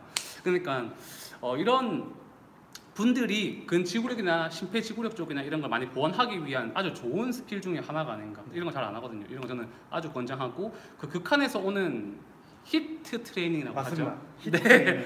네, 이렇게 말하면 잘 모르기 때문에 아마 말을 안 하신 것 네. 같고 이런 타입의 운동은 보디빌딩에서 많이 씁니다. 네. 그러니까 매주 한 주 주기로 여러 가지 프로그램을 가지고 가요. 보통 3주 프로그램이 있는데 그 중에 하나가 HIIT 이런 타입의 어, 프로그램이 들어가기도 합니다. 궁금하면 좀 공부해봐도 괜찮겠지만 그냥 이제 HIIT라고 하면 high interval intense training인데 이제 이런 거를 사실 하는 이유가 뭐냐면 어, 보디빌딩을 하시는 분들은 사실 유산소를 많이 가져가기에는 네. 신체적으로 부담이 커서 이제 마무리 운동으로 유산소 운동성 이런 고강도 인터벌 트레이닝을 해줘서 유산소를 대체하는 거를 저는 많이 봤습니다. 네, 맞아요. 그래서 이제 마지막에 metabolism도 올려주면서 유산소도 확 가져가고 시간도 줄일 수 있고 뭐 이렇게 이제 많이 가져가기 때문에 네. 유- 저는 사실 이제 비시즌기에는 유산소를 많이 안 타기 때문에 네. 마무리로 꼭 이런 유를 해주 해주는 거를 좋아합니다. 요런 게 이제 보디빌딩 하는 분들은 유산소를 타면 덩어리가 작아집니다. 네. 사이즈가 작아져서 그걸 최대한 세이브하기 위해서 맞습니다. 근력 운동 베이스의 유산소를 가져가려고 해요. 거기서 나온 스킬 중에 하나고 네. 아주 무리한 루틴 중에 하나가 또 giant set라든지 네, 경기 때만 준비하는 스킬 중에 하나예요. 네. 네, 네, 아주 똑똑한 똑똑한 사람이. 그리고 항상 이렇게 라이브를 제가 하면서 말을 잘 못 끊겠더라고요. 아, 설명 중에 말을 못 끊겠는데 말 말 좀 풀어서 이렇게 단어가 너무 고급져요 항상. 아, 사람들 좀 알아들을 수 있는 일반 용어, 네. 클래식 용어 알겠습니다. 어, 그런 표준 용어가 좀 좋을 것 같아요. 네. 네, 아니면은 그 이게 영상 편집이면 그 맞아요. 자막 달고 설명을 해주면 되는데 그게 아니라 가지고 네. 하여튼 뭐 그렇다. 오늘 일단 기본적인 촬영은 끝났고 아까 pull-up 같은 거 한번 같이 해볼까? 요 어 좋습니다. pull-up 저 옷 좀 갈아입고. 네. 어, 소통. 어, 너무 긴장 긴장했는데. 채워주세요. 뭐라고요? 채팅 보고 있어요. 비는 사운드를 이거, 채워주세요. 이거 어떻게? 그 위로 올리시면 아하. 안녕하세요. 어썸블리스입니다. 맞아요. 저 학부는 유니스트 나왔습니다. 저 키는 사실 아까 뽀정 형님께서 196이라 그러셨고 제가 그것보다 조금 적다고 생각하시면 되고요. 그래도 막 올라오네 혼자. 감사합니다.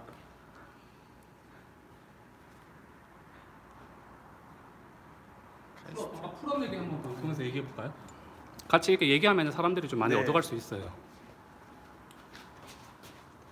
제가 약간 네, 이제 뽀종 형님께 질문을 드리자면 네, 네, 저도 사실 pull-up을 하면서 네, 항상 궁금했던 건데 네, pull-up이 전 제가 생각하는 pull-up은 제 몸을 당겨서 네. 위로 올라간다.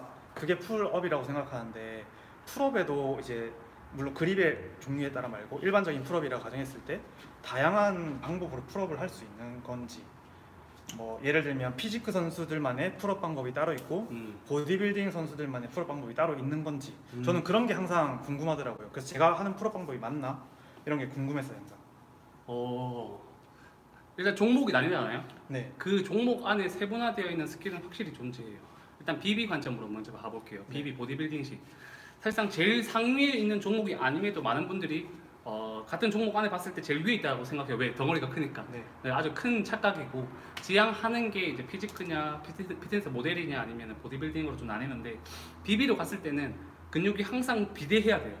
크고 네. 선명해야 돼요. 네. 그 기본 목적 자체가. 근데 운동 종목은 선명한 게 베이스예요. 왜 몸자랑이니까. 네. 선명한 베이스지만 일단 커야 돼요. 네. 그 안에서. 그러면은 제일 중요한 게 뭐냐면 다양한 자극. 음. 그러니까 내가 항상 이런 스타일만 쓰면 네. 이런 스타일도 해야 되고 오히려 당기는 것도 해야 되고 네. 케이블도 해야 되고 free도 해야 되고 덤벨도 해야 돼. 그러니까 다양한 스타일의 자극을 먹이는 게 제일 중요해요. 이게 비비. 그렇게 해야 몸이 잘 자라요. 한 가지만 하면 정체가 바로 와요. 네. 그냥 크기에만 집중을 하는 거죠. 피트니스, 모델, physique 이런 쪽에서는 일단 피치, physique는 보디빌딩보다는 조금 작지만 모델로 가기에는 좀 많이 과한 근육이고 네. 딱, 딱 과한 느낌의 이쁜 상태라고 볼 수 있어요. 매니아가 봤을 때 정말 이쁘고 과한 몸인데 어, 이쪽은 일단 바지 자체가 길어요. 허벅지가 보이지가 네, 않습니다. 허벅지. 근데 허벅지를 하긴 하는데 main focus가 아니에요. 네. 정확하게 프레임 자체, 덩어리 프레임 자체를 넓히는 데 집중해야 돼요. 그러니까 뼈대라든지 골격이 커 보이게끔 예를 들어서 네. 어깨라든지 밸런스를 그쪽에 집중하면 돼요. 네. 역삼각형의 몸을 강조하는. 네 그런 느낌 오히려 크기만 집중하는 게 아닌 약간 네. 밸런스적인 균형미 플러스 약간의 크기 네. 기 때문에 그거에 맞춘 어깨에 과한 운동 어깨가 주 3회라든지 음. 뭐 pull-up 같은 경우에도 약간 한쪽으로 좀 치우치는 거죠 예를 들어서 보디빌딩이 모든 약점을 커버하고 있겠지만 physique에서는 그 넓이가 좀 부족한 친구들임에도 불구하고 아니, 아니, 아니, 넓이가 충분함에도 불구하고 넓이만 추구하는 거죠. 네. 뭔지 알겠죠? 네. 근데 뭐 좀 아이러니한 게 넓이를 키우는 뭐 pull-up 네. 아까도 뭐 우리 얘기했지만 넓이를 키우는 pull-up이 형들 있나요? 두께를 키우는 pull-up이라는 게 있습니까? 이런 거 한번 반문해 보면 좀 재밌을 것 같아요. 제가 사실 아까 드린 질문이 네. 너비를 강조하는 등 운동이 있나요라고 네. 물어봤거든요. 혹시 거기에 대해서 어떻게 생각하시는지. 시청자 형들 생각을 좀 어떠세요? 네. 넓이를 키우는 등 운동 그리고 넓이라기보다 광배를 더 넓히는 등 운동, 광배를 두껍게 하는 두께 운동 이게 존재하는가? 아니면 그런 스타일의 운동이 무엇인가에 대한 이야기 혹시 weighted pull-up? Wide weighted 멸치라서 가능했나 보다고요? 그냥 운동하면 커지긴 하죠. 그립 넓이로 생각을 한다고요? 솔직히 솔직히 뭐 좁게 잡아도 등은 잘 자라죠. 잘 넓어지고 광배 살짝 이 근육 근육의 좀 기능을 좀 알아야 될 것 같아요. 가슴은 우리가 뭐 이렇게 움직이기 위한 근육 중에 하나죠. 이둔을 올리기 위함이고 네. 그 등도 그런 기능이겠지만 광배 근육 자체의 역할이 발달하면은 걔 역할이 그냥 커지고 넓어지는 거. 무슨 말인지 알겠죠? 네. 커지고 넓어지는 건데 그게 점점 강해지다 보니까 두께도 점점 커지는 거예요. 그 두께 훈련, 넓이 훈련 따로 분류하지 않더라도 그냥 광배 훈련만 하면은 광배가 커지긴 해요. 네. 뭐 그런 것들. 근데 한 가지 각도만 하다 보니까 좀 약점들이 생길 뿐이에요. 뭐 상부, 하부 같은 것들, 가슴 상부 약 부재, 뭐 등 하부에 좀 부재, 뭐 그런 것들이 있을 뿐이지 그냥 광배 자체의 역할이 그냥 넓어지는 역할을 베이스로 갈- 깔고 간다라고 해주면 될 것 같고 오랜 짬, 음, 경력, 맞습니다. 시간을 얼만큼 먹였냐가 두께라고 볼 수 있을 것 같아요. 네. 이제 그 시간을 전부 다 힘들게 잘 먹였냐가 좀 편차일 것 같고 그런 느낌으로 가운데를 채움에 있어서는 뭐 승모라든지 그렇게 보면 돼요. 많은 지금 구독자분들이 달아주시는 게 네. 넓게 잡으면 등이 넓어지지 않나라고 지금 많은 분들이 사실상 네 어, 이거는 제가 아, 말씀하세요 좀. 아니요 저는 네. 질문한 겁니다. 아 그래요? 네. 이거는 제가 설명을 해- 해드릴게요. 이게 어, 넓게 잡는 거가 중요한 게 아니에요. 저도 그렇게 넓, 생각합니다. 넓, 이 손의 그립의 위치가 중요한 게 아니라 팔꿈치의 포지션이 중요해요. 팔꿈치가 제 형들 보세요. 내가 이렇게 있으면은 그냥 광배가 이래요. 광배를 빼볼게요. 이렇게 광배를 빼는 거고 이렇게 그냥 있는 거. 그러니까 팔꿈치를 내가 광배 타입으로 가느냐 뭐 아니냐 그런 차이기 때문에 뭐 넓이에 대한 훈련이라고 말을 할 수 있겠지만 관절의 컨트롤로 볼 수 있을 것 같기는 합니다. 다 알고 있죠? 네. 네. 그렇게 저 같은 경우는 wide grip pull-up을 조금 선호하지 않는 편인데 wide grip pull-up이나 wide grip lat pulldown을 선호하지 않는데 그 이유가 뭐냐면 이렇게 넓게 벌림 벌릴수록 아무래도 어깨에 부담이 많이 가기 때문에 등 운동을 하는데 어깨 부상의 염려가 우려가 되고 그리고 넓게 벌리면 벌릴수록 가동 범위가 짧아질 수밖에 없습니다. 그러면 당연히 등은 많이 늘어났다가 많이 수축돼야 많이 크는 건데 조금밖에 안 움직이기 때문에 운동의 효율도 떨어지기 때문에 저는 이제 그냥 제, 저한테 가장 내추럴한 그립을 잡는 걸 선호하고 그리고 저는 오히려 좁게 잡는 거를 조금 더 소- 선호하는 편입니다. 저도요. 항상 저는 좁게 잡아요. 벤치도 그렇고 맞잖아요. 네. 다 좁게 해요. 저는 다 좁게 하는 걸 선호하고 어, 약간 좁다는 기준이 형님들 잘 없겠지만 제가 영상을 찍어둬서 조만간에 조만간 말고 좀 뒤에 올라가긴 할 거예요. 좁다는 기준이 형님들 벤치든 뭐든 다 공통입니다. 이런 넓이를 했을 때 올라갔을 때 팔의 각도가 90도 정도면 보통 노말이에요. 잘 많이 하는 거고 저는 그거보다 좁은 예각이라고 하죠. 90도 안쪽 각을 저는 선호해요. 이 정도 올라갔을 때 90도 안쪽인 거예요. 저는 이걸 좀 선호해요. 여기서 이제 팔꿈치랑 어깨랑 나른 견갑, 뭐 허리 이런 컨트롤을 하는 걸 좋아라 하는 편입니다. 그래야 힘들거든요. 네, 맞습니다. 네. 그래서 그냥 사실 자기한테 제일 편안하게 느껴지는 게 네. 제일 좋은 거라고 저는 생각을 하기 때문에 이제 우리 이론 많이 했으니까 네. 한번 pull-up 보여주세요. 여- 여기서 네. 어디로 들어 이렇게 들어가요. 네. 편하신 대로 그냥 거울 보셔도 괜찮고. 머리 좀. 저는 이제 pull-up을 할 때 엄지 손가락을 이렇게 걸어주는 편이고 걸어주면 약간 thumbless. 네 thumbless로 잡는 편이고 저는 걸어주는 게 조금 더 편하더라고요. 그래서 걸어주고 와 가동 범위가 네, 저는 이제 가슴을 약간 터치한다는 느낌으로 올라가는 편입니다. 어, 그립은 오버이지만 친업 느낌. 네, 네.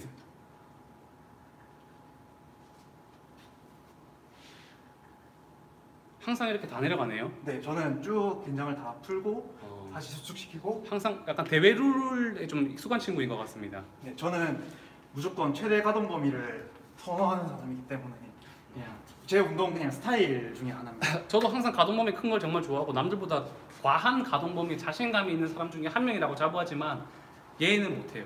어깨가 안 좋아요. 네 맞습니다. 이거 잘못 풀면 어깨가 이렇게 탁 빠져버려서 제가 어깨가 이미 망가져서 어 이제 절- 적정 수준 이상 올라가면 아파요. 통증을 바로 동반해요.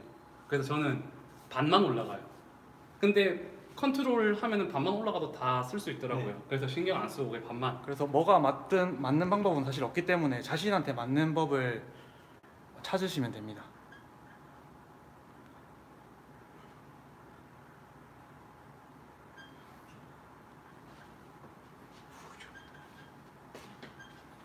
우 느낌은 주게 주네요. 네. 다안 올라갔지만. 왜 그래? 반대로 등 보여달라던데. 오케이.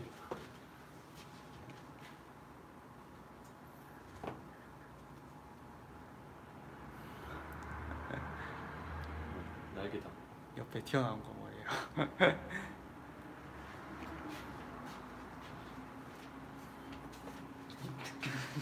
옆에 튀어나온 거 뭐냐고? 홍, 홍났어요. 암입니다. 암. 음.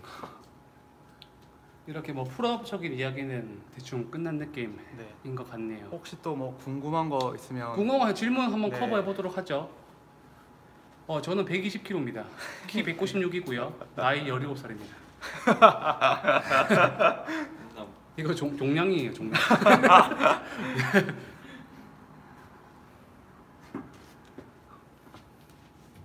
재활 같은 거 아니야? 재활 좀 아세요? 아니요 저 재활은 저 모릅니다. 재활 저도 솔직히 까먹었어요. 제가 옛날에 재활 병원에 일했어요. 아 정말. 네, 의사인 척했죠. 다 까먹었어요. 조금은 알죠. 조금. 그쵸 뭐.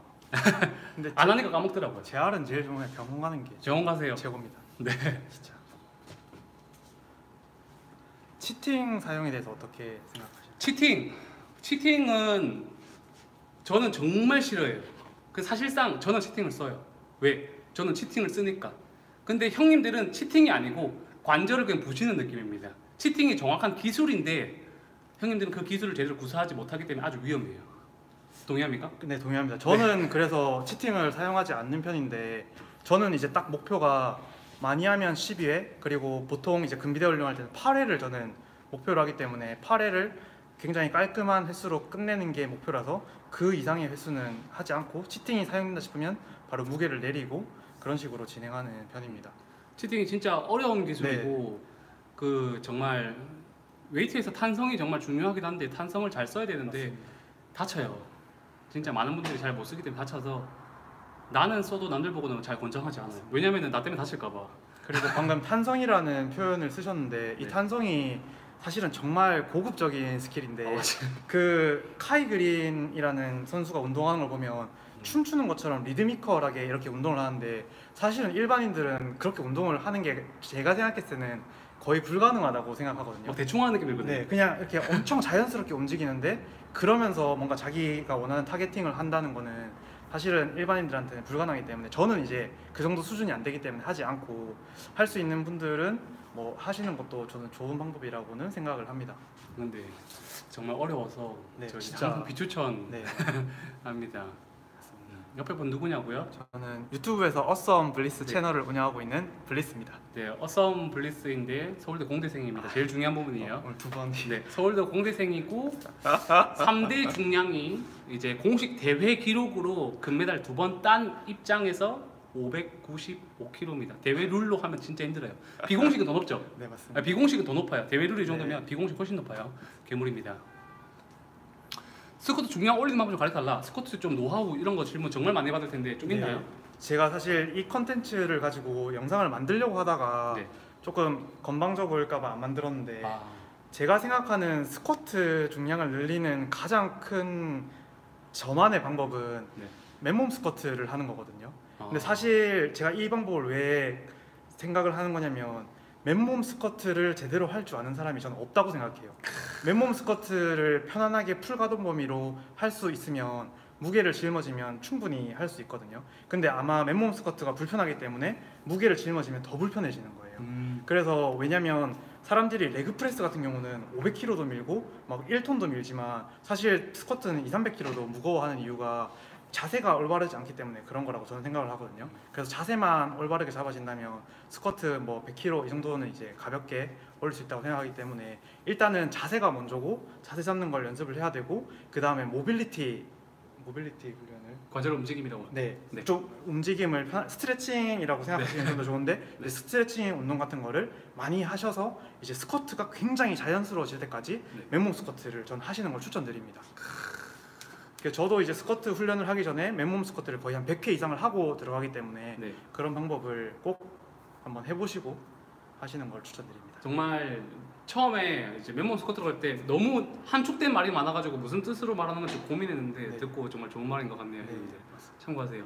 그리고 아까 현수님께서 계속 올려주신 제가 질문을 답변을 못했는데 네. 대회 이후 림메스를 하시는 건가요?라고 하시는데 사실 뭐 lean mass를 의도하진 않지만 네. 제가 대회 끝나고 뭐 추석도 있었고 여행도 좀 갔었고 해서 많이 먹어서 네. 살이 의도치 않게 조금 찐 상태고 그래서 네. 지금 한 70kg 정도인데 이제 앞으로의 목표는 75kg 정도를 맞춰서 74kg급 파워리프팅 대회에 나가서 음. 3대 한 600을 세우는 게 이제 목표입니다. 진짜 근데 아쉬운 게 뭐냐면 이전 기록이 대회에서 네 맞습니다. 100, 아 595kg예요. 네그 남자라면 화가 나는 일이거든요. 맞습니다. 앞자리가 6이 바뀌기 전이에요. 더럽게 짜증이 나요. 네, 맞잖아요. 그때 너무 좀 진짜. 화날 것 같아. 네. 진짜 부상을 안고서라도 한번 해보고 싶은 5kg 증량. 그 각각 종목에 1, 1.5만, 1.25만 넣어도 네. 맞잖아요. 그리고 사실 그때 5kg를 못 든 이유가 뭐냐면 네. 제가 들었는데 파울을 받았는데 아, 그 이제 데드리프트에는 hitching이라는 네. 룰이 있는데 네. 여기 허벅지 살짝이라도 끌리면 네. 바로 실격이거든요. 허벅지 대리면 안 돼요? 네, 그냥 바로 이렇게 툭 들어와야지 합격이고 여기 끌어서 이렇게 올라. 아 골반에 아, 아 네, 그거 그거 아 뭐야 아 그거 그거 인정 안 되구나. 네, 바로 파울이에요. 그래서 그걸 그거 인정되는 대회도 있어요? 어, 없어요. 아 근데 또 제 영상을 찾아보시면 아시는데 네. 전 사실 영상에 보면 되게 매끄럽게 올라왔거든요. 네. 근데 그 심판 이것도 주관적인 거라서 아. 심판이 세 명이서 보는데 어떤 각도에서는 그게 살짝 끄인 걸로 보일 수가 있어서 음. 그래서 한 분이 이제 페- 파울을 주셔서 이제 저는 그때 red light를 받고 실격을 했는데 이 규정을 보니까 네 데드가 정확하게 다리 베이스로 할 수밖에 없네요. 엉덩이 네, 빼야 되고. 맞습니다. 그러니까 다리 운동 위주의 데드 그냥 다리 타겟의 훈련으로 할 수밖에 없는 네. 그런 룰을 가지고 있구나. 무조건 아, 후면으로 밀어넣는 어. 작업이라서 실제 등 타겟은 1도 없다라고 보면 될 것 같습니다. 네, 맞습니다. 와. 저는 그래서 등 운동할 때는 저는 rack pull만 따로 이렇게 빼서 아. 하기 때문에 저는 데드를 등 운동이라고 생각하지 않는 음. 다리 운동이라고 생각하는 편입니다. 완전 그 룰 자체가 그렇게 규정이 되어 있다면 어떻게 할 수가 없다. 네 맞습니다. 그 대신에 뭐 중량치기 좀더 편하죠. 훨씬 편- 조금 더 안정적으로 아, 네. 다리 베이스로 들기 아. 때문에 안정적으로 들 수 있습니다. 아, 조금 억울하겠다 근데 그럴 때. 네. 왜냐면, 왜냐면 자기가 제일 잘 알거든. 네. 되었다 안 되었다. 네, 저는 들고 어 왔어 들었다 했는데 네. 갑자기 빨간불이 타서 어. 좀 근데 거지 같은 게 그거 두 번 못 하거든요. 네. 최고 중량이에요. 맞아요. 내가 1.2회 정도. 그러니까 한 번 하고 땅 찍고 살짝 오다가 버려야 될 만큼 그 정도 힘이기. 때문에 두 번 못 하는 건데 파울. 때리면은 심판 심판 때리고 싶어요. 파울이 아니라 진짜로 진짜. 진짜 짜증나죠. 네. 어. 이거를 사실 대회를 준비할 때 보디빌딩도 이제 peak week라는 게 있고 파워리프트도 똑같이 근신 근신경에 주기화를 주면서 피크를 칠 때가 있. 와. 네. 감사합니다. 아, 네. 말씀하세요. 아 근데 피크를 치는 week가 있는 주가 있는데 그 피크 한 번을 치려고 한 8주에서 12주 정도를 계속 근신경을 자극을 시켜 주는데 네. 한번 이제 100% 이상을 찍고 나면 신경이 확 죽어버리기 때문에 네. 한번 딱 실패하는 순간 거의 게임이 끝났다고 보면 돼서 너무 너무 어렵다 말이야. 아. 아, 그러니까 세 달 동안 네, 내가 세 달 동안 그 경기 날을 위해서 네, 어, 무리하지 않고 컨디션을 그 템포에 맞추는 거예요. 네 맞습니다. 그러니까 전성기 한 주를 위해서 네. 그날 하루를 위해서 맞습니다. 하루를 위해서. 피크 주 네, 그날을 위해서 맞추는 거예요. 대회 하루를 위해서 힘을 아끼면서. 맞습니다. 그러니까 경기 있을 때는 퍼포먼스를 갈기지 않아요. 네, 맞죠? 맞습니다. 그 말 말이죠. 네. 쉬다가. 단어가 너무 어려워서 형들이 이렇게 뭐 불편해 다 알아들었겠지만 네, 맞습니다. 파동형 주기화 맞습니다. 네. 저렇게 말하면 안 돼요.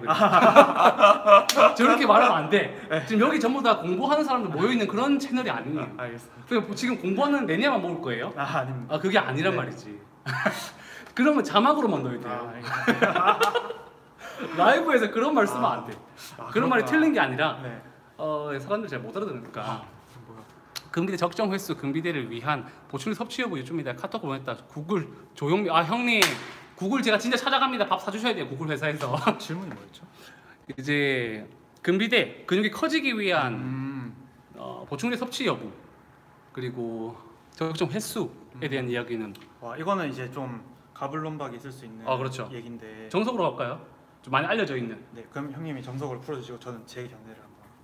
어 알겠어요. 일단 우리가 비대라고 하면은 이제 strength, 힘, 리프팅이랑 비대 그리고 근지구력으로 나눠요. 이 순서가 뭐 레벨이나 그런 건 아닙니다. 근데 근비대는 일단 무게가 8에서 12회 될 수 있는 걸 항상 권장을 해와요. 가장 많이 알려져 있고 지금도 가장 오래 해온 역사가 있는 개수인데 그 개수는 그냥 내가 8에서 12회 하는 게 아니라 내가 힘을 짜보니까 8회 하고 아홉 번째 실패하는 실패 지점 더 이상 할 수 없는 그 무게를 찾아서 그 횟수만 하는 타입을 보니까 그러면은 12회를 하는 게 좋을 것 같아요. 저 같은 경우에는 그리고 어셈블리스 선생님 같은 경우에는 솔직히 10번 하고 다음 세트 10번이 유지가 돼요. 수행 레벨이나 몸의 퍼포먼스가 적응이 되어 있어요. 일반 분들은 12회 하면 다음에 9번, 그 다음에 6번 이렇게 떨어질 확률이 정말 높기 때문에 어, 12회나 14회 되는 걸로 해가지고 마지막 세트에서 한 3, 4세트 했을 때 8회 되는 중량을 찾는 게 급선무고 실력이 좀 늘었을 때는 내가 다음 세트에도 같은 횟수가 유지될 수 있는 즉 실패 지점으로 하는 거 정말 힘들기 때문에 그걸 찾는 게 급선무가 아닌가 싶어요 형님들 그게 적정 횟수로 볼 수 있고 보충제 여부는 개인적으로 오메가3 음, 필수. 그 다음에 종합 비타민, 그 다음에 프로틴 정도. 나머지는 크게 중요하지 않다라고 봅니다. 이세 개도 솔직히 필요는 없지만 어, 종합 비타민 다 챙겨 먹기 자연식으로 먹기가 좀 힘들어서 인위적인 섭취를 좀 권장하고 싶고 오메가 3도 자연 식품으로 먹기가 좀 한계가 있는 식품이라서 먹었으면 좋겠다라는 입장입니다. 근데 오메가 3 하면 사람들이 뭐 두 알, 뭐세알 먹고 끝나는데 저 하루에 15알, 많으면 20알 먹어요. 많이 드시고 형님들이 열알 정도는 하루에 먹어줘야 한다라는 걸 좀 권장. 그 용량이 몇인지 모르겠지만 가장 큰 용량으로 그만큼 드세요. 가장 큰 용량 대용량 사셔가지고 알맹이 하나당 제일 압축 많은 걸로 사서 그 개수 드시면 됩니다. 오메가 3 정말 중요하고 성장에 유리합니다. 불포화 지방이기 때문에 분해도 정말 잘 되죠. 네. 저는 이 정도. 그리고 아, 단백질 얘기 안 했구나. 단백질 같은 경우에는 이제 내가 음식 자연 섭취가 솔직히 잘 되고 있다라고 하면은 큰 영향을 끼치지 않습니다. 하지만 나는 선수이고 레벨이 high quality라면 그 보충제 작은 것도 편차가 조금 레벨이 나뉠 수 있을 것 같아요. 그런 게 아니라 일반 사람이고 취미고 high quality 취미를 하고 있다라면 자연적인 섭취 단백질 섭취만 잘해도 상관없고 내가 일적으로 좀 필요하고 도시락을 쌀 수 없고 빨리 무언가를 먹고 넘어가야 하는 그런 입장이라고 한다면 supplement 보충제를 먹는 거는 권장하지만 그게 아니라면 음식으로 항상 고체로 되어 있는 영양을 섭취하는 걸 권장합니다. 씹어 먹어야지 호르몬이 분비돼요. 음식에 대해 알겠죠? 어, 저는 이제 근비대 훈련에 대해서 방금 뽀종 형님께서 말하신 말에 100% 동의를 하는데 이제 어느 정도 수준이 올라가면 8에서 12회로 이제 natural에서 조금 한계를 약간 부딪힐 때가 분명히 생길 겁니다. 저도 그런 단계에 부딪혔던 적이 있고 그때 이제 제가 조금 natural에서 정점을 찍은 분들의 훈련법을 많이 찾아보니까 이제 외국에서는 powerlifting을 접목한 powerbuilding이라는 방식을 많이 사용하더라고요. 그래서 결국에는 사람의 몸이 바뀌려면 어떤 강력한 저항이 들어와야 그걸 이겨내려고 몸이 바뀌는 거기 때문에 맨날 똑같은 무게를 8에서 12회를 들었을 때 과연 내 몸이 변할까를 한번 저는 생각을 해본 적이 있는데 아 분명히 내가 감당할 수 없을 만큼의 저항이 들어와야 내 몸도 그걸 이겨내려고 바꾸, 바뀌겠구나라는 생각을 하게 돼서 저는 이제 파워리프팅을 조금 더 치중을 두게 된 거고 그렇기 때문에 저는 5회 정도만 해도 물론 이거는 근비대가 어느 정도 일어났을 때를 가정하는 얘기고 근비대가 어느 정도 일어났을 때 5회 정도만 충분히 해도 이제 물론 엄청 자기가 다루기 힘들 정도의 무게와 안정된 자세를 가지고 있을 때의 얘기입니다. 그 정도 했을 때 5회 정도를 하면 저는 이제 근비대가 더욱 더 활발히 일어날 거라고 생각을 하고 이제 보충제에 관한 네. 보충제에 관한 설명은 네. 저도 이제 그냥 뭐 멀티비타민, 오메가 3는 항상 먹으라고 하고요. 왜냐면 사실 저희가 채소나 네. 과일이나 이런 걸 충분하게 섭취를 못하기 때문에 네. 그런 걸 뭐 필수적이진 않지만 보조적으로 먹어주면 좋다라고 생각하고 네. 저는 프로틴 파우더를 개인적으로 먹는 걸 추천드리는데 그 이유가 뭐냐면 어, 단백질을 생각보다 한국 음식에서 섭취할 수 있는 것들이 많지 않기 때문에 단백질을 한 스쿱에서 두 스쿱 정도는 먹어주는 게 충분한 단백질을 섭취하는 데 있어서 좋다라고 생각을 하고 근데 이 프로틴을 먹을 때 있어서 자신이 과연 얼마만큼의 단백질을 먹어야 되는지를 아는지에 대한 의문을 한번 던져 본 다음에 그런 거를 공부를 하고 난 뒤에 프로틴도 사서 아, 내가 필요하다 안 필요하다를 판단하고 난 뒤에 구매를 하시는 걸 추천드립니다. 누가 어떤 선수가 이 프로틴을 먹기 때문에 난 이 프로틴을 먹어야 돼 이런 거는 무조건 잘못된 거고 꼭 프로틴을 내가 얼마만큼 먹어야 되는데 내가 어떤 일 때문에 이 프로틴 이만큼 못 먹기 때문에 이때는 보충제를 먹어야겠다라고 생각하고 섭취를 하시는 것이 굉장히 좋다라고 저는 생각을 합니다. 정말 좋은 얘기가 너무 많이 압축되어 있어가지고 제가 형님들에게 조금 더 약간 멋있게 좀 더 풀어주고 싶은 얘기가 정말 한 두세 가지 있었는데 기억이 잘 안 나요. 쭉 듣다 보니까 잘 안 나고 여기서 일단은 포인트 하나 알아갈 건 뭐냐면 마지막 멘트부터 한번 짚고 넘어가 보도록 할게요. 아까 뭐 유명한 누가 먹고 있는 거 우리가 사실상 필요로 하고 있는 보충제는 무엇인지 알 필요가 있어요. 보충제를 먹고 있다는 게 영양을 섭취하기 위함이 아니라 잘 모르기 때문에 아까 자기가 알 필요가 있다고 했잖아요. 우리가 필요로 하고 있는 솔직히 보충제는 보충제가 아니라 좋은 영양가가 아니라 사실상 스타가 먹는 보충제, 마케팅이 되어 있는 보충제를 필요로 하기 때문에 그냥 필요한 걸 사서 싼 걸 사더라도 잘 먹는 데 의미는 좀 중요합니다. 많은 분들이 포커스를 스타가 먹는 보충제에 중점을 두고 있기 때문에 사람들이 그런 거에 마케팅을 하고 홍보를 하는 거예요. 회사에서도 덕분에 제가 먹고 살기는 하겠지만 뭐 아직 그런 후원이 없기 때문에 후려 깝니다. 알겠죠? 그런 게 있고 아까 오메가 3적인 이야기 한 번 더 또 넘어가 보도록 할게요. 오메가 3는 보통 뭐 400에서 500, 많으면 900 정도를 먹습니다. 미리그램이에요. 근데 요거는 어 어썸블리스 선생님이나 어, 저 같은 경우에는 하루에 5g 이상을 섭취를 해줘야 돼요.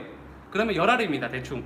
400이나 450이나 500으로 두 알 먹어서 900 나오는 게 많고 한 번에 1g짜리가 잘 안 나옵니다. 거의 없다고 보시면 돼요. 아무리 좋은 거 큰 거 대용량 사시더라도 그러면 보통 기본 열알 운동 선수들은 7g 이상을 먹어주는 걸 조금 더 권장을 합니다. 노동력이 정말 많고 합성을 하고 살을 빼기 위해서라도 그런 지방량을 필요로 해서 좀 많이 먹으라고 하고 싶어요. 그러면은 알력이 금방 바닥이 나요. 그럼 돈이 좀 아까울 수 있지만 야채보다 싸요. 고기보다 싸고요. 그런 실제 오메가3를 얻기 위한 생선에 있는 그 기름보다 훨씬 쌉니다. 단가가요. 그러니 그런 걸 아끼지 말고 투자해야 하는 품목 중에 하나라고 저는 생각해요. 그 정도. 아까 한 개 더 있었는데 그거 기억이 안 나요. 사실 저도 오메가 3는 동감하는 게 어, 보디빌딩식 식단을 하시면 생각보다 지방 섭취를 많이 못 하게 됩니다.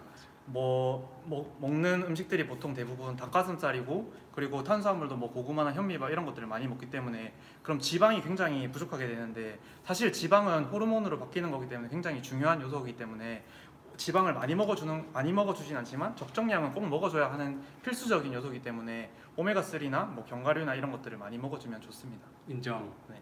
근데 견과류가 지방이 너무 많고 음, 탄수화물 불포화 지방이 좀 부족해요. 권장 맞추기가. 그래서 우리가 이제 인위적인 섭취라는 걸 하는 겁니다, 우리 형님들. 그래서 제가 조금 저는 이제 사실 오메가 3도 네. 먹긴 하지만 네. 제가 저만의 좀 꿀팁을 드리자면 네.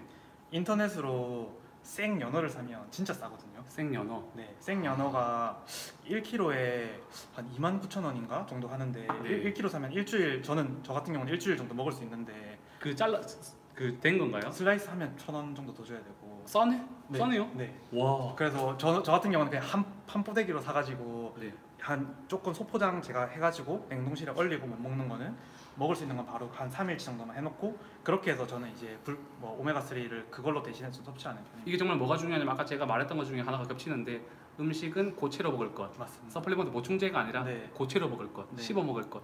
씹어서 나오는 그런 호르몬 분비가 다 차원이 맞습니다. 다릅니다. 그리고 흡수율도 차원이 다릅니다. 네, 그러니까 가능하면 씹어서 먹기 위해서 이런 것들 섞어주는 게 좋아요. 네. Good. 네. 질문 답변 됐나요? 유료 질문이었기 때문에 아주 길게 답변했습니다. 네, 맞습니다. 인정? 네. 네. 근데 연어 좀 칼로리가 높잖아요. 맞습니다. 네. 근데- 다 먹기에는. 그래도 뭐 음. 한 일주일에 한 두세 번 정도는 부담 없이 네. 먹을 수 있는. 좀 웃긴 게 운동만 하면 이렇게 좀 예민해요. 칼로리부터 뭐 전부 다. 평상시에 쓸데없는 거다 먹으면서 좋은 거 따지면은 끝도 없이 따지기 시작하다 보니까 어제도 아, 치킨 먹었는데. 아, 신경을 쓰고 먹어도 괜찮아요 사실상. 맞습니다. 네. 이걸 제가 대화를 하면서 지금 뭘 느끼냐면 네. 이 선생님은 보통 사람이 아니에요. 아. 진짜 똑똑해요. 진짜 똑똑하고 채널 가서 많은 정보를 뜯어가세요. 네, 맞습니다. 그 대신에 좀 단어가 좀 전문적일 수 있으니까 자막을 넣어, 넣어달라고 꼭 댓글 다세요. 전문 용어 꼭 설명, 풀이. 검색해 보는 거 귀찮기 때문에 너가 검색해서 자막을 넣어라 이런 거 꼭 하시면은 진짜 양질의 정보를 따라갈 수 있을 것 같습니다. 누구냐고요? 어썸블레스입니다. 서울대 공대생이고요. 벤치프레스 할 때 어깨 불편해서 파워리프팅 벤치 하러 가볼까요? 네. 파워리프팅 자세를 바꿨는데 물론 팔만 커지는 느낌입니다. 벤치 하는데 팔만 커지는 것 같다고 하네요. 근데 파워리프팅 식으로 바꾸면 네. 오히려 어깨가 더 가, 뭐지 자극이 많이 오지 네. 팔이 자극이 온다고 하면 네. 약간 그립을 좁혔다던가 아니면 안쪽으로 집어넣었다던가 맞아요. 둘 중에 하나인데 그거는 powerlifting식이라기보다는 네. 조금 더 보디빌딩식에 가깝게 바꾸시지 않나 이거는 제가 자세를 보지 않고는 네. 어떠한 답변도 드릴 수가 없어서 정말 어려워요. 네 이건 정말 어려운 질문인 것 같습니다 정말 어렵지만 그 중에 또 뭐가 포함되어 있냐면 사실상 각도상으로는 어 그냥 가슴이 먹을 수 있지만 내가 조금 더 집중하는 개인 스킬상 팔만 쓸 수도 있거든요. 그런 디테일한 부분이 좀 빠져 있어서 알 수는 없지만 어 개인적으로 제가 보지 않고 판단을 했을 때는 팔만 약하세요. 맞습니다 가슴 할 때 어깨 전면 뭐 팔 삼두를 써야 되는데 팔만 약하다 보니까 가슴이랑 어깨가 힘이 남아 있는데 팔만 지친 게 아닐까. 어, 사실상 뭐 편식이 많이 되어 있는 상태라고 볼 수 있을 것 같습니다. 그래서 저는 벤치 할 때 좀 팔을 쓰면 중량 다루기가 좀 컨트롤이나 안정감이 크기 때문에 벤치 증량에 대해서는 팔 운동을 많이 하라고 좀 많이 권장을 하는 편입니다. 저도 벤치에 한창 정체기가 왔을 때 어, 삼두 운동 같은 경우를 주 4회를 했는데 와. 네, 일단 저는 원래 3분할을 하기 때문에 주 2회가 베이스고 네. 그리고 2두 운동 하는 날에 가볍게 이제 3두를 한 분 더 해주는 식으로 주 와. 4회를 넣고 물론 뭐 4회라고 해봤자 네. 뭐 총 세트는 일주일에 뭐 한 10세트 안 넘게 가- 가볍게 짧게 짧게 짧게 하는 거라서 와. 네, 저는 그래도- 빈도를 높이는 걸 좋아해서 음. 빈도를 높여주고 세트는 짧게 가져가고 그런 식으로 훈련을 합니다. 이게 저도 정말 좋아하는 스타일 중에 하나인데 메인 3두 훈련이 두 번 있고 맞습니다. sub 훈련이 두 번 있는 거예요. 네, 맞- 정확합니다. 이 표현입니다. 제가 이 표현을 잘 못해서 그런데. 네. 어, 정말 좋네요. 네. 네. 이게 이제 방송 라이브를 처음 네. 해서 그렇지 조금 하면은 엄청 잘할 거라는 걸 저 체감합니다. 네. 말 정말 잘하고요.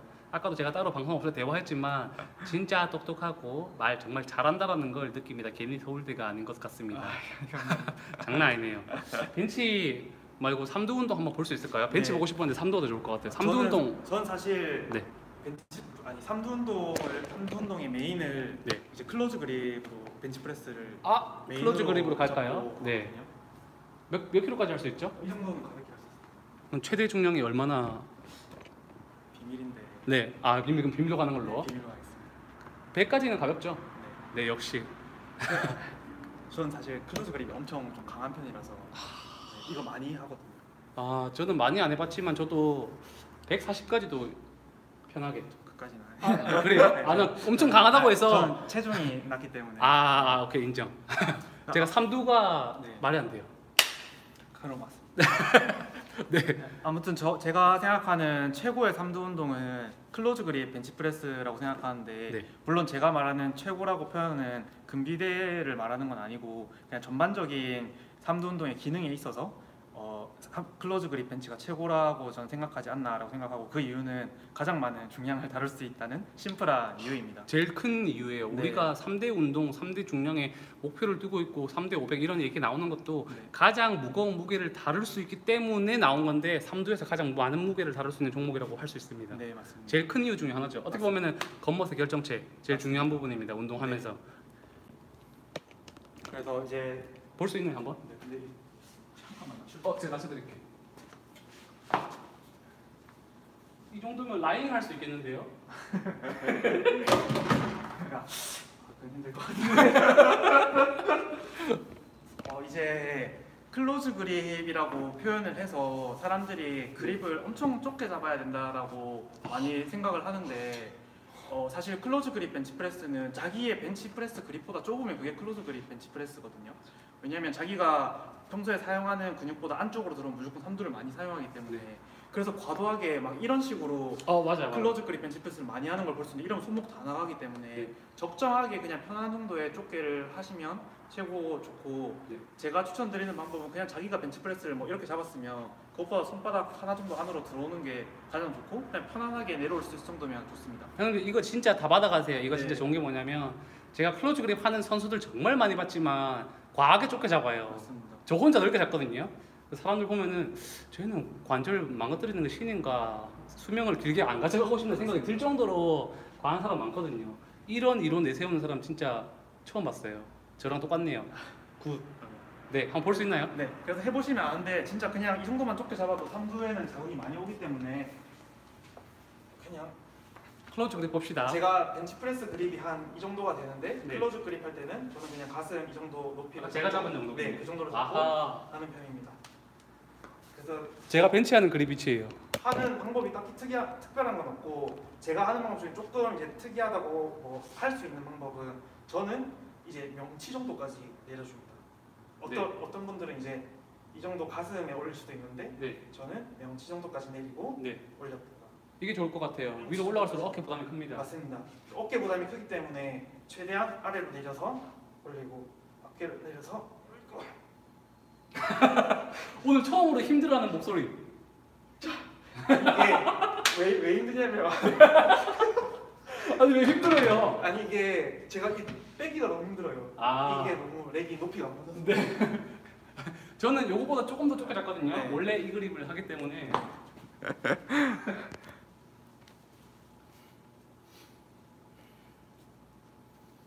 으쌰. 네, 제가 생각하는 이제 close grip은 저 정도 그립이 이제 close grip이라고 생각하는 편입니다.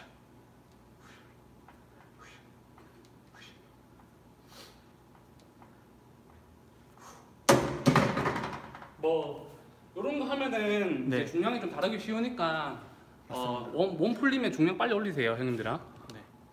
그리고 저 같은 경우는 close grip은 항상 벤치 프레스 하고 난 뒤에 보조 운동을 하기 때문에 아, 벤치 프레스 중량을 많이 치고 close grip은 약간 횟수를 조금 집중하는데 마- 무게를 좀 아니 포커스를 두는 편입니다. 저는 close grip 진짜 싫어요. 아 그래요. 무게 꼽는 게 귀찮아서. 어, 그래서 저도 이제 벤치하고 빼면서 아, 빼는 중량에 맞춰서 하고 저는 저는 병인가 봐요. 꼽는 거 너무 그 machine 좋아해요. 저는 약간 straight set으로 해서 무게를 똑같이 쭉 가서 꽂고 이런 거 안 해서 네. 하고 장난이 아니구만. 괴물이네요. 케이블로 하는 삼두 운동 네. 하나 알 수 있나요? 저는 이제 보통 이렇게 첫 번째 main으로 무거운 어, 컨, 컨- 다관절 복합 운동 네. 이런 거를 하나 해주고 그 다음에 이제 보조 운동으로는 케이블로 하는 걸 좋아하는데 네. 관절이 많을수록 사용이 많을수록 중량치기가 쉽습니다. 관절 사용이 없을수록 힘들고요. 이런 게 관절 팔꿈치만 쓰는 거고, 이런 게 어깨랑 팔꿈치 다 쓰는 거예요. 그럼 관절 사용이 클수록 힘쓰기 사실 좋습니다. 네. 이거는 다양한 방법으로 할 수 있는데 어, 제가 기본 하려고 하는 운동은 네. 이렇게 extension overhead로 extension을 하려고 하는데 사실 이 운동을 제가 좋아하는 이유가 뭐냐면 벤치프레스의 중량을 이제 늘리는 차원에 있어서 벤치프레스를 가장 실패하는 이유가 여기서 팔꿈치가 안으로 말리면서 결국에는 fail이 일어난단 말이에요. 음. 그래서 이렇게 벌려주는 이 힘이 강하면 강할수록 이게 안 꺾이기 때문에 이 벌려주는 힘을 약간 기르기, 기르 고 싶어서 overhead extension을 많이 해주는 편입니다. 저는 이제 근비대라기보다는 제가 부족한 부분을 채우기 위해서 이렇게 벌리는 연습을 많이 해주는 겁니다. 그래서 저는 사실상 운동인의 가장 큰 목표예요. 약점 채우기. 네 맞습니다. 자기의 약점을 빨리 깨닫고 그 방법을 빨리 찾아야 됩니다. 그래서 이렇게 제대로 이완이 된 상태에서 네. 이렇게 수축을 시켜주는 게 그냥 방법입니다. overhead extension이라고도 많이 하고 그냥 말할 수 있지만 fail 하니까 멋있네요. 맞습니다. 뭐 사실 별다른 건 없고 그냥 팁은 쭉 늘렸다가 쭉 빼고 한번 살짝 벌려주는 게 팁입니다. 최대 수축까지 주기 위해서 여기서 이까지만 줘도 사실 되지만 살짝 벌려주면 조금 더 텐션이 들어오기 때문에 해주고 그리고 가장 많이 하는 실수는 여기서 더 안 가고 그냥 여기서 멈추는 거.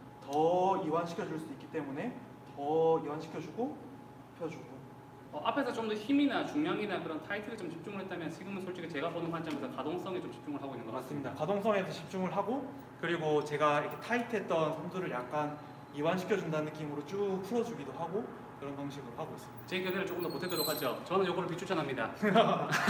저는 비추천하는 이유 일단 다 하나예요. 이걸 뽑는 순간에 허리 디스크가 아파요. 아 인정합니까? 인정합니다. 그래서 뭐 이렇게 할 수도 있겠지만 일단은 요 동작 자체가 뽑고 마무리하는 동작에서 허리 부담이 갈 수 있기 때문에 형님들이 디스크가 있다라면 저는 권장하고 싶지 않습니다. 제가 디스크거든요. 그래서 사실 사실 제가 원래 하는 방법은 네. 제가 이걸 사실 무게를 많이 뽑고 할 때는 어떻게 하냐면 네. 여기 발을 되죠? 발을 아하. 발로 민 다음에 하는데 사실 지금 가벼워서 그냥 안 다, 하고 다시 다시 한 번만. 여기 네. 발을 딱 원래 대고 네. 이렇게 민 다음에 가서 이렇게 아하. 하기 때문에 이런 식으로 할 수 있는데 아니면 그냥 이렇게 발을 하나만 네. 이렇게 공분다 네네네. 공가도 아, 이렇게. 네, 해도 이렇게 할 수 있기 때문에 저는 이렇게 많이 하고 만약에 또 다른 방법으로는 이걸 아예 밑으로 내린 다음에 위에서 이렇게 해도 방금 이게 제일 허리 위험해요. 맞습니다. 그래서 저도 이게 좀 더 편해서 하는 네, 이게. 조금 더 편하죠. 그래서 요거를 어떻게 하냐면 저는 하기는 해요. 하기는 하는데 별로 안 좋아하는 게 뭐냐면 누군가의 도움이 필요해요. 동생들 보고 뽑아라. 음, 잡고 올려야 돼요. 그렇기 때문에 마무리할 때도 잡아줘야 돼요. 아니면 허리 쓰다가 실수하면 다쳐요. 저는 디스크 때문에. 그래서 별로 권장하고 싶진 않지만 형님들 뭐 좋은 운동이고 저는 원래 옛날에는 진짜 많이 했던 정말 좋은 운동 중에 하나라고 볼 수 있을 것 같습니다. 좋네요. 케이블 중에서 제가 여러 개 하는 것 중에 제일 좋아하는 운동 중에 하나. 저도 좋아합니다. 네, 좋네요. 삼두 얘기는 끝났죠, 이렇게. 네. 정말 많은 삼두 얘기 한것 같습니다. 와, 케미가 찰떡이라고요. 생각보다 라이브를 정말 잘하세요. 감사합니다. 잘하고 이게 지식을 아마 근데 맨날 라이브 하면은 지식 금방 고갈라거든요. 아, 맞습니다. 더 이상 전달, 전달할 게 없어. 그러면 채널의 재미가 뚝 떨어져, 빨리 떨어지거든요.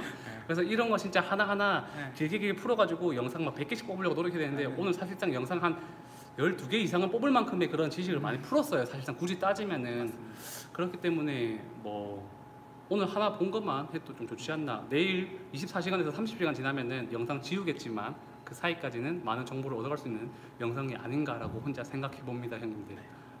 질문 바로 받도록 하죠.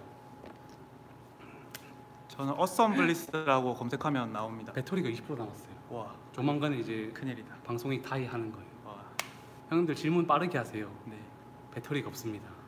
어떤 분이 선형 세트를 어떻게 하시나요라고 하는데 저는 선행 세트. 아, 선행 세트. 네, 그럼 선행 이제 먼저 좀 하는 것들. 저는 이제 선행 세트를 굉장히 짧게 가져가는 편이고요. 네. 예를 들면 뭐 스쿼트 140kg를 하는 날이면 웜업이 바로 60한 다섯 번, 100으로 한 번, 그리고 바로 140으로 넘어가는 편입니다. 근데 이렇게 할 수 있는 이유는 사실 웜업을 굉장히 잘했기 때문에 이렇게 빨리빨리 올라갈 수 있는 거기 때문에 웜업을 진짜 잘하는 거를 추천드립니다. 진짜 이론적인 운동이에요. 네. 왜냐면은 내가 200kg 들 수 있는 사람이에요. 들어왔고 그러면은 그 앞에 그 준비가 안 되어 있으면은 200 뽑지를 못해요. 근데 이렇게 빠르게 증량을 한다라는 건 준비가 잘 되어 있다라는 거. 맞습니다. 준비를 네. 확실하게 하고 정말 중요한 부분. 네. 네. 다칠 것 같아요. 네, 다- 아, 네. 이, 이론 이론적으로는 맞습니다. 이론적으로는 내가 100 할 수 있으면 제일 힘이 많을 때 첫 세트에 첫 종목에 바로 100을 치는 게 제일 좋아. 그렇죠. 힘이 제일 좋으니까 운동의 그 높은 완성도를 위해서. 하지만 진짜 그 앞에 사전 준비가 안 되어 있다라면 그 100이 죽음으로 가는. 그렇죠. 그렇죠. 원래 충분히 할 수 있고 10개씩 했지만 그래도 단 하나 두 개만으로 죽음을 맞습니다, 선사하는. 네. 네. 좋은 이론이네요. 네, 맞습니다. 이걸 제가 보고 뭘 느끼냐면 운동의 짬이 네. 보통이 아니야. 운동 공부의 짬도 그렇고 운동 훈련에 대한 짬도 보- 엄청 경력이 많아요. 진짜 잘해요. 진짜 잘해요. 진짜 잘해. 진짜 한번 기회 될 때마다 이렇게 좀 네, 대화가 봅시다. 네. 오늘은 좀 대화 위주였지만 다음에는 운동 위주로 같이 좀 해보면 네. 재밌을 것 같아요. 제가 허리나 여러 가지 관절에 제약이 있어가지고 뭐 부상을 항상 안고 있는 상태, 디스크랑 네. 무릎이기 때문에 좀 제약이 있긴 하지만 같이 운동하면서 좀 느끼면서 자기 스타일 운동 하면 될 것 같아요. 무게만 비슷하게 맞춰서 나는 느리게 뽑고 본인은 뭐 스타일로 가져가고 음. 네. 하면 될 것 같아요. 중량 뭐 조금씩만 빼면 되니까 조금씩 네. 꼽고 아마 저보다 중량은 많이 뛸것 같아요. 평상시 훈련상에서는. 아, 리프팅 네, 스타일이니까? 맞아요. 아, 저는 횟수를 많이 하지 않기 때문에 네. 그래서 뭐 훨씬 더 많이 할 것 같은 네. 느낌이 납니다. 종목도 몇 세트 권장합니까 라고? 저는 이제 보통 main이라고 제가 생각하는 스쿼트, 벤치, dead 같은 경우는 네. 한 3에서 5세트 정도를 무겁게 가져가는 편이고 음흠. 그 이후에 모든 이제 보조 운동은 많으면 4세트를 가져가고 보통 3세트를 저는 좋아합니다. 음. 3세트를 좋아하는 이유는 제가 생각했을 때 4세트 정도까지 가면 좀 제가 지루해하고 집중도가 떨어지기 시작하고 3세트까지만 했을 때 제가 최고의 집중도를 유지하고 다음 운동에 넘어갔을 때 조금 더 신선하게 다음 운동을 갈 수 있어서 저는 개인적으로 3세트까지만 하는 걸 좋아합니다. 저도 3세트만 해요. 아, 아세요? 네. 저 항상 3세트만 해요. 제 요즘 진짜 다 시리즈 보면 4세트 하는 거 없어요. 올 3세트이기 때문에 저도 완전 좋네요. 스타일이 좋은 것 같아요. 안 맞춰도 기본적으로 좀 맞는 네. 스타일인 것 같아요. 운동 타입 자체가. 이제 운동은 몇 시간 정도 하세요? 총 시간 타임. 저는 사실 운동을 조금 오래 하는 편인데 아하. 저는 사실 근데 오래 하는 이유가 보통 한 2시간 정도를 하는데 저는 warm-up을 한 30분을 하고 퍼포먼스가 네. 과하다 보니까 네, warm-up을. 항상 조금 과도할 정도로 땀이 좀 날 정도로 warm-up을 빡세게 하고 그 다음에 이제 본 세트로 들어가면 또 파워리프팅은 한 번 하고 쉬는 시간이 보통 3분에서 5분 정도를 쉬어야 네. 제 베스트 컨디션이 다시 올라온 상태에서 들어가야 되기 때문에 그 5세트를 하는데도 한 30분이 걸립니다. 뭔지 알 것 같아요. 네, 그래서 1시간 정도를 이제 메인을 하는데 쓰고 나머지 보조 운동을 한 30분에서 40분 정도로 짧게 가져가고 마무리 운동 조금 해주고 지금 여기서 말하고 있는 그 몸을 푼다라는 게 네. 형님들이 봤을 때 저거 보는 동 아니야 하는 그런 느낌이에요 사실상 보시면 네. 그런 느낌이 좀 날 거예요 보시면 실제로 봤을 때는 1세트 무겁게 하냐 3세트만 하면 한 세트 무겁게 하냐고 물어봅니다 아, 아닙니다. 저는 이제 이것도 사람마다 일정하게 한다고 네, 아까 전에 취향이 다른데 저 같은 경우는 그냥 일정한 무게를 3세트 가져가는 편입니다. 저는 운동을 45분에서 1시간 10분에 끝내는 걸 좋아해요 네. 저는 저도 비비식으로 할 때는 네. 45분에서 1시간 안에 빡세게 딱 하고 끝내는 걸 좋아해요. 알겠지만 그 매 세트 매 회가 고통스러워요 맞습니다. 엄청 극한의 고통을 뽑아내는 스타일이기 때문에 길게 유지할 수도 없을 뿐더러 길게 했다라는 거는 내가 길게 쉬었고.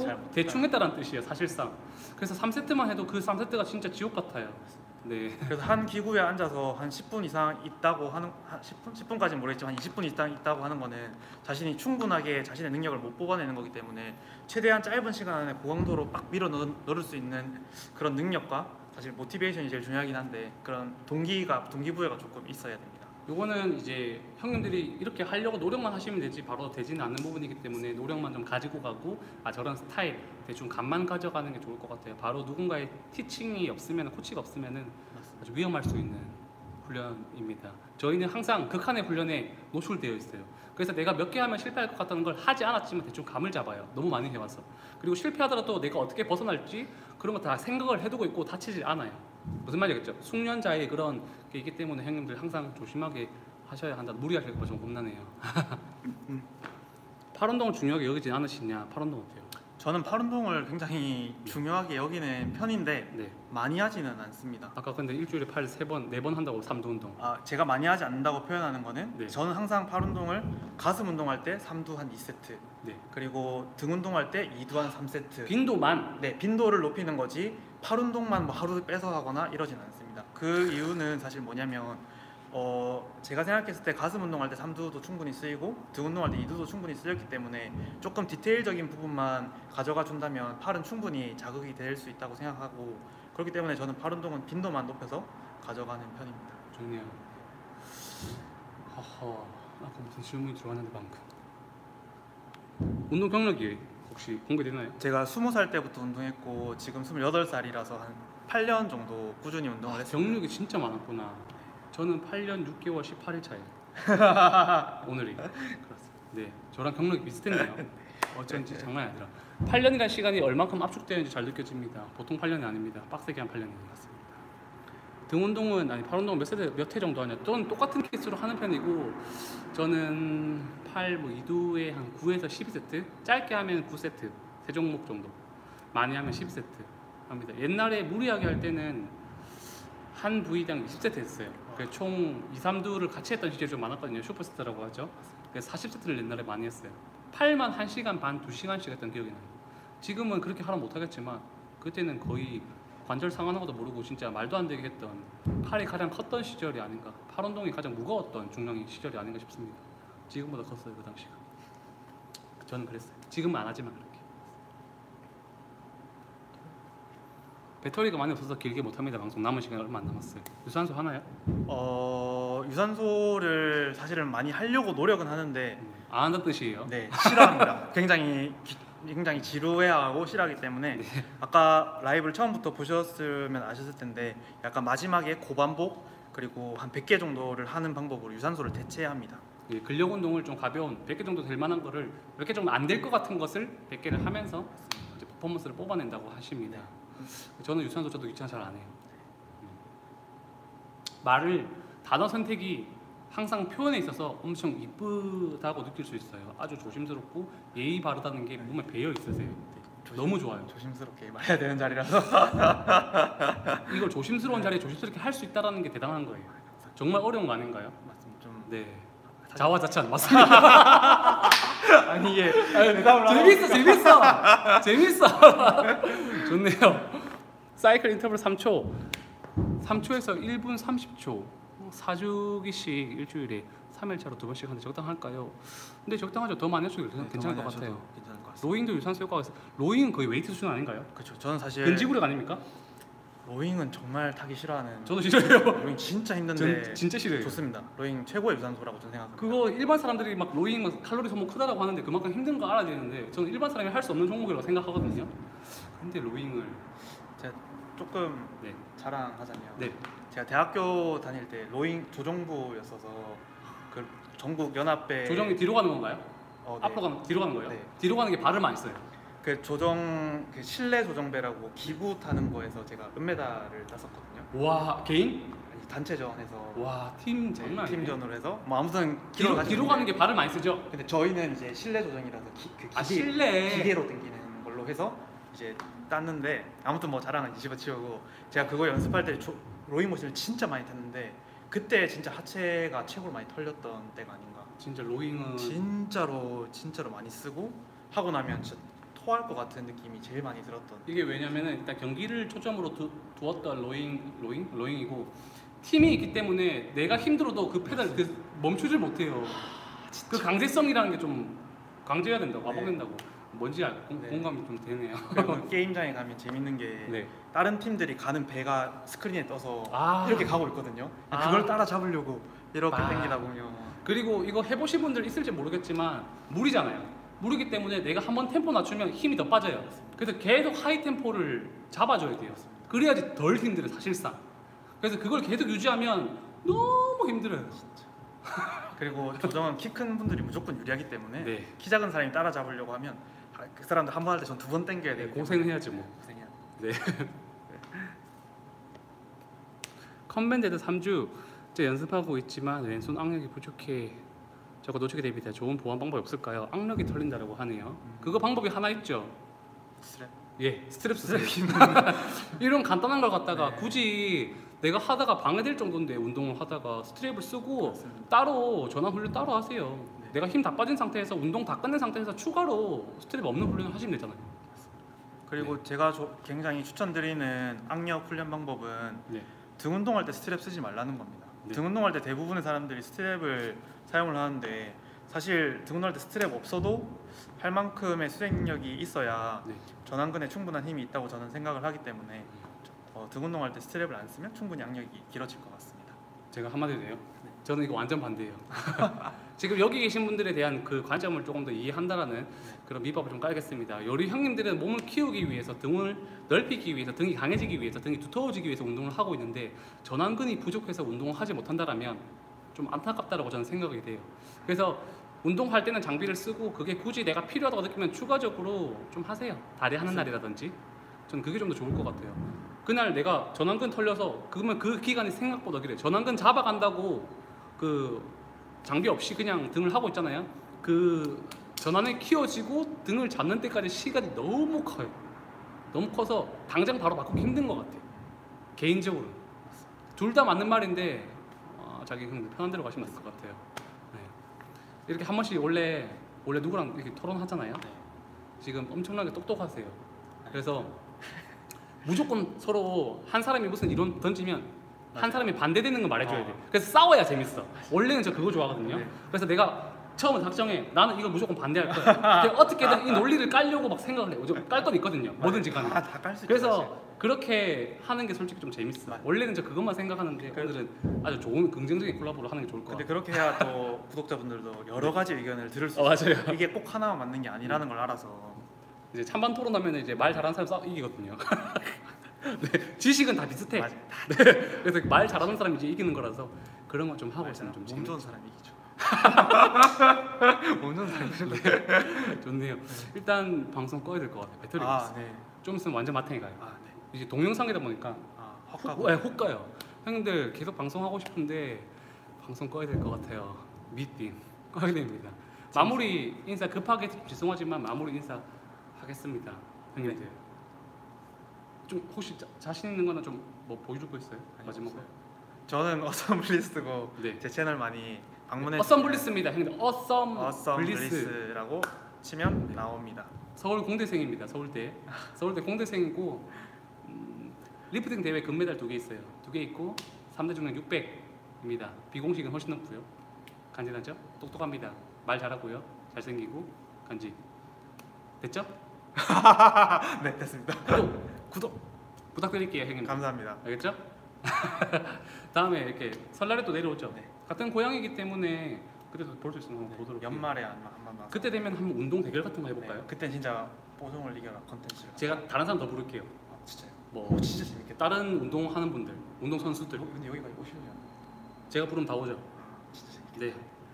네. 어, 내가 다 이겨야지. 올, 올 사람만 다 오라고 하죠. 네.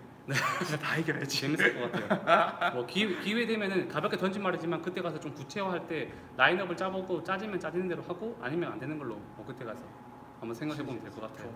네. 네, 그렇게 하는 걸로 하고 오늘 방송은 마무리 해야 될 것 같습니다. 배터리가 없어요. 휴대폰 배터리가. 아쉽습니다. 형님들 오늘 갑니다. 고생하셨어요. 감사합니다.